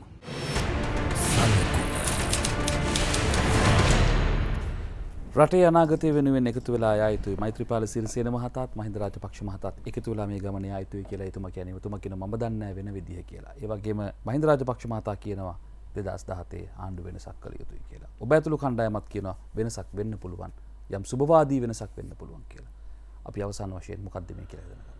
විදුර වික්‍රමණයක් මැතිතුමා රත්න ශික්‍රණයක් මැතිතුමාගේම පුත්‍රයා හැටියට ඒ ලක්ෂණ පෙන්නුම් කරා ඒ කතාවේ. ඔබේ හේ තියෙන්නේ කඳුලක්ද ඔව පැහැදිලිම කඳුලා මොද හේතුව රටසිකරණය මැත්තුමා මම දේශපාලනයට ආපු අවදියේ මගේ දේශපාල ගුරුවරය. මොක දේරු ම මහදන පක්ෂ දේශපාලට ඇවිල්ල. අපි පයි පක්ෂ පනකොට අපි බෞජ නිදහස් පරමට පක්ෂ හදාගන්නකොට චන්දකමති නායකත්වයෙන් ඒ බෞජනස් පරන කුඩා පක්ෂයේ උප සභාපතිවරය වුණේ රසිකරමැත් මැත්තුමා. අපේ ගෙදරත් ඇවිල තිබෙනවා. එතුමා හැමදාම ශ්‍රී ලංකා නිදහස් පක්ෂ ආදරය කරපු කෙනෙක්. ඒ නිසාම තමයි අපි බෞද්ධ නිදහස් පෙරමුණ ඉඳලා ශ්‍රී ලංකා නිදහස් පක්ෂයට නැවත යනකොට එතුමා ඒකට නායකත්වය දෙන්න චන්දිකා කුමාරතුංග මැතිනියට උපදෙස් දෙන්න. චන්දික කුමාරතුංග මැතිනියව නැවත්ත ලංකාවට ගෙනෙන් ඉංගලන්තයට ගිය පිරිසතර මාත් හිටිය. චන්දික මැතිනය කියනම ලංකාවට ආපෝ වෙනවා එක කොන්දේශයක් මත. රත්න සිරි එනවනම් විතරයි. තක මතිනියත් නැවත ලංකාව දේශපාලට එන්න තිීදු කර රත්න ට වන විතරයිගෙන කාරය මත. නිසා එතුමා මිය යනකොටත් මහින්ද රාජපක්ෂමත්තුමත් එක්ක සම්බන්ධ වෙලා එළඟට අපේ ජන වර්තම ජනපතුමාගේ ප්‍රධාන උපදේශකරට හිටිය. ම හිතනවා අපි සියලු දෙනාම ලංකාවේ ශ්‍රී ලංකා නිදහස් පක්ෂය අය විදුරු වික්‍රමණයක මන්තතුමාගේ ඒ කතාවට ආයාචනයට කන් දෙන්නට ඕන්. රාජපක්ෂමතිතුමා සන්දිකා කුමාරතුන්ග මැතිනිය මෛත්‍රපාල සිරිසන මැතිතුමා විශේෂයෙන් තංකංදීලා අපේ රට බේරා ගැනීම සඳහා අපේ පක්ෂය බේරගන්න ශ්‍රී ලංකා නිදහස් පක්ෂය කියන්නේ පක්ෂයක් නෙවෙයි ජාතික ව්‍යාපාරයක්. මම කතා කරන මම නීතිීඥයක් වෙලා ඉන්නේ පණ්ඩාරනයක් චින්තට පින්සිද්ධ වෙන්න. දොස්තර මහත්තුරු ඉංජිනීරු මහත්තුරු වගේ උද විතරන්නෙේ ලංකාව ඉස්සර පණ්ඩාරනයක් මුක්ම චින්තර නැති නැති නැති යුගයක ආණ්ඩුව කන්තරුවක ලිපිකරුවෙක් වෙන්න බෑ සිංහලෙන් විභාග පස් වුනාන නිසා මේක ජනතා ව්‍යාපාරයක්. මේ ජනතා ව්‍යාපාරය තුළ අපිට තමන් ගැන බලලා පුද්ගලයෝ ගැන බල කටයුතු කරන්න බෑ. පක්ෂය සහ ප්‍රතිපත්ති ගැන බලන්න ඕනි. ඒහින්ද මමිතනවා සුදේව විදුර වික්‍රම ඇත්තුමාගේ ආයාචනය මං හදවතින්ම හදවතින්ම අනුමත කරනවා. මම දැක්කා ඔය සමාන ආයෝචනයක් විදුර මේ පුටුව ඉඳලා සැලකොනෙන් ලංකාවටම කරනවා. විදුර හරි. අතු වික්‍රම එතුමාගේ අපි ඇත්තටම එතුමාගේ වියෝ වෙනුවෙන් ශෝක වෙනවනම් අපි අපිට එනේ ශෝක ශක්තියක් කරගෙන විදුරගේ ඉල්ලීම අනුව දෙදස් දාහතය අවුරුද්ධ අපි පක්ෂය ශක්තිමත් කරමින් රට ශක්තිමත් කරන දෙදස් විස්සේ අපේම කියන ආණ්ඩුවක් හදීමේ ප්‍රථම වෙඩිමුරය පලාත් පාල මැතිවරන්දේ සමගහර හා පෙන්නමු එම පෙන්නුවොත් දෙදස් පහලවේ ජනවරමට වඩා වෙනස් ජනවරමක් තමයි අද මහපොළොවේ තියෙන්නේ කියලා අපට ඔප්පු කරන්න පුළුවන් වුණොත් දෙදස් විස්සේ පාර්ලිමේන්තු මැතිවරණයකට පෙර ජනාධිපතිතුමාට අපිට යම් යම් බලකිරීම් කරන්න පුළුවන්කම ලැබේවි. ඇමති මට මොහොත දෙන්න. ඒ ඒ ඒ ඒ කණ්ඩායම ඔබ ආයචනා කරන කණ්ඩායම එකක්ද විපක්ෂ නියෝජන කණ්ඩායම කරන කණ්ඩායමේ ඇතැම් පිරිස් අතරේ යම් ප්‍රශ්නාර්ථයක් තියෙනවා. අගෝස්තු දාහත්වෙන්ද කරපු දේ අපිට අපහු කරයිදි කියන ප්‍රශ්නාර්ථය. ඒ විසඳන්න ඔබ මොකක්ද කරන්නේ. සුදේව ජාතිකාණ්ඩුව හදන වෙලා සම්මුතිවාදයාට මකට කියන ජාතිකාණ්ඩුව නෙවෙයි ඒකට විරුද්ධනාට වෙල්ගම්බගේ මන්ත්‍රීවරු එක්කෙනෙක් හරි මෛත්‍රපාල ශිෂ්‍යන මැතිතුමා පක්ෂ නායකයා කිරීමේදී කවුරුත් විරුද්ධ වුණේ නැහැ. මහින්ද මහින්ද රාජපක්ෂ මහත්මයාගේ උපදෙස් මත මධ්‍යම කාර්ය සභාවේ සියල්ලම කැමති වුණා. ඔය ඉන්න එක ප්‍රතිපක්ෂ සියලු දෙනාම පාර්ලිමේන්තු මන්ත්‍රී කණ්ඩායම කැමති වුණා. සම්දානීය නායකයෝ සියල්ලම කැමති වුණා. ඊට පස්සේ සම්දාන නායකය කරන්න. ඒ නිසා මෛත්‍රපාල ශිෂ්‍යන මැතිතුමාගේ නායකත්වය ගැන කිසිම ආකාරයක විරුද්ධත්වයක් තිබුණේ නැහැ. සමුතිවාදී ආණ්ඩුව හදනකොට බෙල්ගම වගේ කට්ටිය ඒක ඒක විවෘත්තව මම කියන අගෝස්තු දාහත මැතිවරණයේදී සිදුවුණු ක්‍රියාදාමය හරහා මැතිවරණ සම්බන්ධයෙන් ඔවුන්ට ප්‍රශ්නාර්ථයක් තියෙනවා කියන කාරණය තමයි සඳහන්. අගෝස්තු 17 වෙනිදා මැතිවරණයේදී වෙච්ච වැඩේ වෙන්නේ නැහැ කියලා දැන් කීපාරක් පැහැදිලි වුණාද? ජනාධිපතිතුමා පක්ෂ සම්මේලනයේදී පක්ෂ සංවත්සරයේදී මැයි දිනේදී මෑතකදී පවත්වපු අපේ පක්ෂ සමාජිකත්ව ප්‍රවර්ධනයේදී ඊයේ ලංකාදීප පුවත්පදීපු පුවත්පත් සාකච්ඡාවේදී දිගටම කිව්වේ ශ්‍රී ලංකා නිදහස් පක්ෂයේ ජයග්‍රහණය වෙනුවෙන් එතුමා පළාත් පාල මැතිවරණදී කැපවනවා කියන කාරණය. අගෝස්තු 17 වෙනිදාත් සුදේව ඒ මැතිවරණයේදී එතුමා අන්තිම දීපු ලිපිය දිහා බැලුවම එතුමා ඒක කියනවා මට ලැබෙන තොරතුරු අනුව සම්දානය ජයග්‍රහණය කරයි එහෙම නැත්නම් මන්ත්‍රීරු හතර දෙනෙක් අඩු වේවි. අඩු වුණොත් මගේ අඩුවත් පුරුවන් කටයුතු කරන ජනාධිපතිවරයා හැටියට මෙන්න මේ හත් දෙනාගේ එක්කෙනෙක් අගමැතිවරයා හැටියට ප්‍රකාශයට පත් කරනවා නම් කියලා.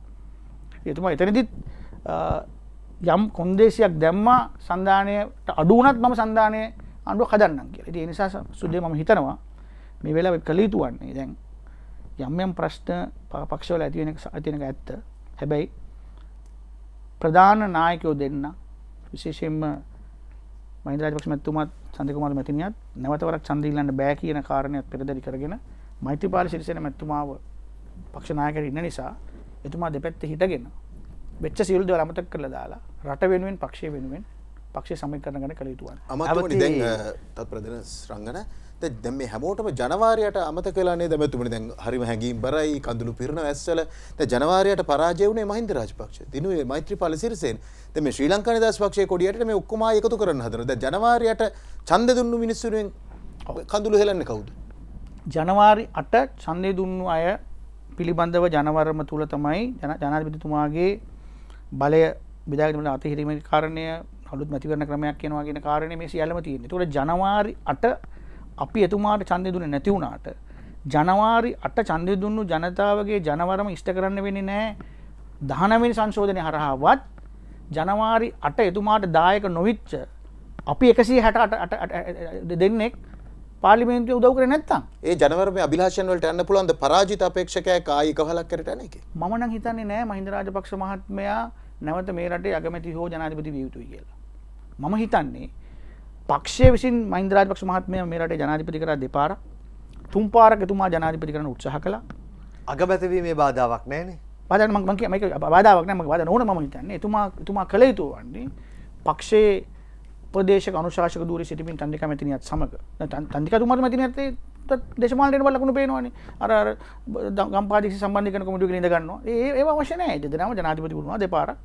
දැන් මෛත්‍රපාල සිරිසේන මැතිතුමාට සහයෝගය දුන්නොත් පක්ෂ එකතු කරගෙන යන්න මම හිතනවා චමල් රාජපක්ෂ වගේ කෙනෙක් අගමැති ධූරයට පත් කිරීම පත් කරගෙන හැකියාව ලැබුණා එතකොට රාජපක්ෂවරුන්ට යම් වෛරයක් තියෙනවාද කියලා කාටවත් හැඟීමක් තියෙනවා ඒක හැඟීම ඇති ඔබ චමල් රාජපක්ෂ මහතාගේ නම යෝජනා කරනවා. ඒ අතර වාරයේදී ගෝඨාභය රාජපක්ෂ මහතාගේ නම තැන් තැන්වල කියවෙනවා. මේ සාධක දෙක අතරින් ඔබ තෝරාගන්නේ කොහොමද? මම තෝරාගන්නේ චමල් රාජපක්ෂ මහතා ඒ සාධක දෙක අතුරින් ඇයි? ගෝඨාභය රාජපක්ෂ මහත්මයා ඉතාම දක්ෂ නිලධාරියෙක්. එතුමාගේ එතුමා නිලධාරියෙක් හිටිය නැති අඩුව අද කොළඹ නගරයටත් දැනෙනවා. මම හිතනවා එතුමා දේශපාලනයට ආවොත් එතුමාට ටිකක් ප්‍රශ්නකාරි තැනක් ඇති වෙනවා දෙමල සහ මුස්ලිම් චන්ද කියන කාරණය පිළිබඳව චමල් රාජපක්ෂමතුමාට ඒක ඇති වෙන්නෙත් නෑ දෙවැනි කාරණය ගෝඨාභය රාජපක්ෂමතුමා හිතන දේශපාලනයට වඩා දේශපාලඥයෝ ගන්න තීන්දුව ඉතාම හොඳින් මහ පොළොවේ ක්‍රියාත්මක කරන්න පුළුවන් ඉතාම දක්ෂ නිලධාරියෙක්. ඒ නිසා ඒ නිලධාරියෙක් කියලා එතුමාගෙන් ගන්න තියෙන සේවය ගනීමට හැකියාව ලැබෙන්නේ නෑ. එතුමා රිබන් කපන දේශපාලඥයෙක් වුණා. ඔබතුමාගේ ඔය විග්‍රහයන් පොඩ්ඩක් පැත්තකට තියලා මට මතක හැටියට ඇමති දිගම්බරන්ද කොහෙද කළා ප්‍රකාශයක් මහින්ද රාජපක්ෂ පාර්ශවය යලි බලයට පත් වුණොත් පළවෙනියෙන් ප්‍රශ්න වෙන්නේ වර්තමාන ජනාධිපතිතුමාට කියලා. ඒක කොහොමද ඔබ කියවන්නේ? රංගන ඒ දිගම්බර මහත්තයාගේ කියවීම වැරදි උදාහරණයක් හැටියට අවසාන ආවැය විවාද වෙලාවේදී චමල් රාජපක්ෂ මැතිතුමා කතා කරනකොට මෛත්‍රීපාල සිටුමැතිතුමා සභාවේ හිටියා. එතුමා කතාව පටන් ගන්නේ ගරු කතානායකතුමනි. මම ඊටාම සතුටුයි මගේ පක්ෂයේ නායක මෛත්‍රීපාල සිරිසේන මැතිතුමත් මගේ පක්ෂයේ ලේකම් දුමින් දිසානායක මැතිතුමත් ඉන්න වෙලාව කතා කරන්න හැකියාව ලැබීම ගැන කියලා. එතකොට අර දිගම්බර මහත්මයා කියන කතන්දරේ නෙවෙයි චමල් රාජපක්ෂ මැතිතුමාගේ මේ කතාවේ ගැබ් වෙලා තිබුණේ. ඒ වගේම මෛත්‍රීපාල සිරිසේන මැතිතුමත් චමල් රාජපක්ෂ මැතිතුමා සමග දිනසීය කාලෙත් අපේ තරුණ පෙරමුණේ ආරම්භක උත්සවයට බණ්ඩාරනායක සම්බන්ධශාලාවට පැමිණි. ඒ නිසා මෑතකදී චමල් රාජපක්ෂතුමා තිස්ස මහරාමේ රැස්වීම කරපු කතාවක් ඔබ තමුන්නාන්සේලාගේ මාධ්‍යයේ ගියා. එතුමා මහින්ද මහත්තයා ළඟ තියාගෙන කිව්වා. ඔබතුමාට අපි ආදරේ. ඔබතුමා ජනාධිපති කාලේ ඔබතුමා වටේ හිටියේ පරණ පාක්ෂිකයෝ නෙවෙයි. අලුත් අය මට මේ දිස්ත්‍රික්කීය සමහර දේවල් කරගන්න බැරුණා පුංචි කුල්ල ගොලකොරොට්ටු නිසා. ඒ නිසා අනාගතයේදී වර්ධ කරන්න එපයි කියන කාරණේ නිසා රංගන මම හිතනවා දිගම්බරන් මහත්තයා ඒ කාරණේ ඒ විදිහට කිව්වට මේ රටේ සිංහල දෙමළ මුස්ලිම් මිනිස්සු සියලු දෙනාටම තේරෙනවා සම්මුතිවාදී ආණ්ඩුවෙන් ලබාගන්න පුළුවන් කාරණා ටික අපි ලබාගන්න පුළුවන්ද කියන කාරණය පිළිබඳව යම්කිසි ආකාර විසඳුමක් ලබාගෙන ඊට පස්සේ මේ රට ඉස්සරහට අරගෙන යන්න අපි වැඩපිළිවෙලක් යොදා ගන්නකොට එහි නායකත්වය ගත යුත්තේ මෛත්‍රීපාල සිරිසේන මැතිතුමා ඒ නිසා ජනවාරි 8 ඡන්දය දුන්නු කට්ටියට ප්‍රශ්නයක් වෙන්නේ නැහැ. මොකද හේතුව ජනවාරි 8 ඡන්ද දුන්නු කට්ටියට ඒගොල්ලන්ගේ ජනවරම ඉෂ්ට කරගන්න බලය විදාගත බලය බලය අඩු කිරීම කියන කාරණයේදී ඊළඟට අලුත් මැතිවන ක්‍රමයක් කියන කාරණයේදී තුනෙන් දෙක පාර්ලිමේන්තුව තුල ඕනේ. අදත් මේ මොහොතේ 19 වෙනි සංශෝධනය සම්මත කරගන්න තුනෙන් දෙකට අපි 160ක් දුන්නා. මේ මොහොතේ පාර්ලිමේන්තුව ඇතුලේ ඒවා අනුමත කරගන්න. ජනවාරි 8 වෙනිදා දුන්නු සමහර පොරොන්දු ඉෂ්ට කරගන්න තුනෙන් දෙකක් ඕනේ. ඒ තුනෙන් දෙකට TNA JP ඉඳලා තුනෙන් දෙකක් හම්බෙන්නේ නැහැ අපි නැත්තම්. ඒ නිසා ජනවාරි 8 කාරණා සම්බන්ධ සම්මත කරගන්න මෛත්‍රීපාල සිරිසේන මැතිතුමා ඉතාම නිවැරදිව ශ්‍රී ලංකා නිදහස් පක්ෂ සම්බන්ධ කරගෙන තියෙනවා. 19 වෙනි සංශෝධනය කරා වගේ. ඒ සම්බන්ධ වීම ඉස්සරහට කර ගැනීම අවශ්‍ය වෙන්නේ. හොඳයි අවසාන වශයෙන් අහන ප්‍රශ්නය. දැන් ඔබ සඳහන් කරනවා පාර්ලිමේන්තුව තුළ කිසියම් වූ වෙනසක් තුළ තමයි මේ ආණ්ඩුව වෙනස් කරගන්න පුළුවන් කියන කාරණය. ඒ වෙනසට ඔබ සහ ඒකවද විපක්ෂයේ සිටිනා වූ ශ්‍රී ලංකා නිදහස් පක්ෂයේ මන්ත්‍රී කණ්ඩායම අතර සාකච්ඡාවක් ක්‍රියාත්මක වෙනවා කියන කාරණය බොහොම ප්‍රසිද්ධ රහසක්. මේ කණ්ඩායම ඇතුළට මේ සාකච්ඡා ඇතුළට එක්සත් ජාතික පක්ෂයේ පිරිසුත් එක් වෙලා ඉන්නවාද. මෙම සුදේව දැන් පාර්ලිමේන්තුව ඇතුළේ ඔළුගෙඩි වෙනසක් කරලා ආණ්ඩුවක් හදනවා කියන කාරණය කරන්න අපි රටේ ජනමතය අගෝස්තු පාලිමේන්තු මැතිවරණයට තිබුණට වඩා වෙනස් කියලා පෙන්න්න ඕන. දැන් අර මට දොස් කියන යුවන්පිය කිවෙත් එකසේ පහක් තියෙන නිසා බල අපේ ආණ්ඩුව කියලා. අපේ ආණ්ඩුවක් නොවනට එන්ද දැන් දෙදස් දාහතකට පුළුවන් වුණොත් එක්සත් ජාතික පක්ෂයට නෙවෙයි දැන් රටේ ජනවර්ම තියෙන්නේ. වෙනත් පක්ෂයකට කියලා කියන්න. එතකොට අපිට තර්ක කරන්න පුළුවන් ජනවාරි 8 දිනුවේ ජනාධිපතිතුමා. හැබැයි පාර්ලිමේන්තුවේ කාලය තව අවුරුද්දක් යන්න තිබුණා. හැබැයි ඒ වෙලාවේ ජනතා විමුක්ති පෙරමුණ වගේ සියලුම පක්ෂ කිව්වා ඒ ජනවර්ම දැන් ඉවරයි. ඒ අනුව තමයි 44ක් හිටපු මම අරණිල කිසි මහත්තයා අගමැති වෙන්නේ. ඒ නිසා ජනවාරි 17 වෙනිදා. සොරි අගෝස්තු දාහත්. වෙනිදා ඒ තිබුණු මැතිවරණ ප්‍රතිඵලය නෙවෙයි දෙදස් දාහතේ මහපොළොවේ තියෙන්නේ කියලා අපිට ඔප්පු කරන්න පුළුවන්ුත් පලාත්පාලන චන්දෙදී එතකොට විතරයි සුදේව අපිට එහෙම ඔල්ලු ගෙඩි වෙනස් කරලා ආණ්ඩුවක් හදනවාද නැද්ද කාරණ කියන කාරණය පිළිබඳව සාකච්ඡා කරන්න උනත් පුළුවන් එහෙම නැතුව අර දොළුකන්දේ හාමුදුරුවෝ කාලයක් හිටියන්නේ එන්න ඩෙඩ හුසෝ කරනවා ආරේ මේ කියලා අපි මෙහෙන් රත්තන බොඩිම අරගෙන ගියා. ගිහලා දාලාව ඊට පස්සේ ඩෙඩ හොඳුනෙත් නැහැ දුලුකන්දේ හාමුදුරුවොත් නැහැ ඒ වගේ දුලුකන්දේ හාමුදුරුවෝ ගාවට යනවා වගේ මේක කරන්න බෑ. අපිට කියන්න පුළුවන් මෙහෙම කරනවා මෙහෙම කරනවා ආණ්ඩු හදනවා. නමුත් මහ පොළවේ තියෙන ව්‍යවස්ථාව අනුව ආණ්ඩු පෙරලන්නේ කොහොමද? පාර්ලිමේන්තු මැතිවරණයකින් ඒකේ ඉන්නේ තව අවුරුදු හතරමාරකින් ජනාධිපතිවරණයක් කවුද ඉල්ලන්න පුළුවන් කාටද? ඒ කියන කාරණා සියල්ලම සැලකිලිට අරගෙන තමයි වෙනස් වීම සිද්ධ විය යුතු පවතින්නේ. වෙනස් වීමක් එයින්ද 2020ට පෙර වෙනවා නම් වියහැකිව පවතින්නේ ජනාධිපතිතුමා ඉන්න මැති ඇමතිවරු වෙනස් කිරීම හරහා. ඒක කරන ජනාධිපතිතුමාට මහපොලවේ ජනතාවගේ මතයේ වෙනසක් වෙලා තියෙන කාරණය අපි ඔපු කළ පෙන්න්නට හෙම නැතුව අපි ආණ්ඩු හදනාව කියල කියලා මේ පැත්තෙන් තව පක්ෂාදලා ශ්‍රී ලංගත පස කැඩුවොත් එතකොට මොකද වෙන්න? එතකොට ඒක එකවත් කරන්න වෙන්න නෑ තිමම කියන්නේ එකයි අපි සියලු දෙනාම මහපොලවේ දැන් දෙදස් පහලවේ අගෝස්තු දාහත්වෙන්ද තිබිච්ච ජනමතය නෙවෙයි කියලා ඔප්පු කරන්න කටයුතු කරන්න එතකොට විතරයි වර්තමාන ජනාධිපත්තුමාට තියෙන බලය අනුව මැති ඇමතිකං වල වෙනසක් තියෙනවාද කියලා හිතවන්න පුළුවන් වෙන්න. හිතවන්න පුළුවන්. දෙම උත්සාහ කරන්න හිතවන්න. මම හිතනවා දෙදස් දාහත හිතවන අවුරුද්ධ කියලා හොඳයි. අපි එතනින් මේ සාකච්ඡාව නිමවට පත් කරනවා. මහමාර්ග රාජ්‍යමාත්‍ය ඩිලාන් පිරා මහතාට ස්තුතිවන්ත වෙනවා. දස් දහත අවුරුද්දේ පළමු වැඩසටහනට සහභාගී වීම ඔබ ස්තුතියි. මට එන්නකොට පළවෙනි වැඩසටහනට? හොඳයි. හිතවතුනේ ඔබට යහපත් වූත් සුභවූත් වසරක් ලැබේවා. වසරක් උදාවේවා කියෙන් ප්‍රාර්ථනය සමගින් අපි තිදෙනා සමුගන්නවා. ස්තුතියි. රැඳී සිටියාට. Thank you.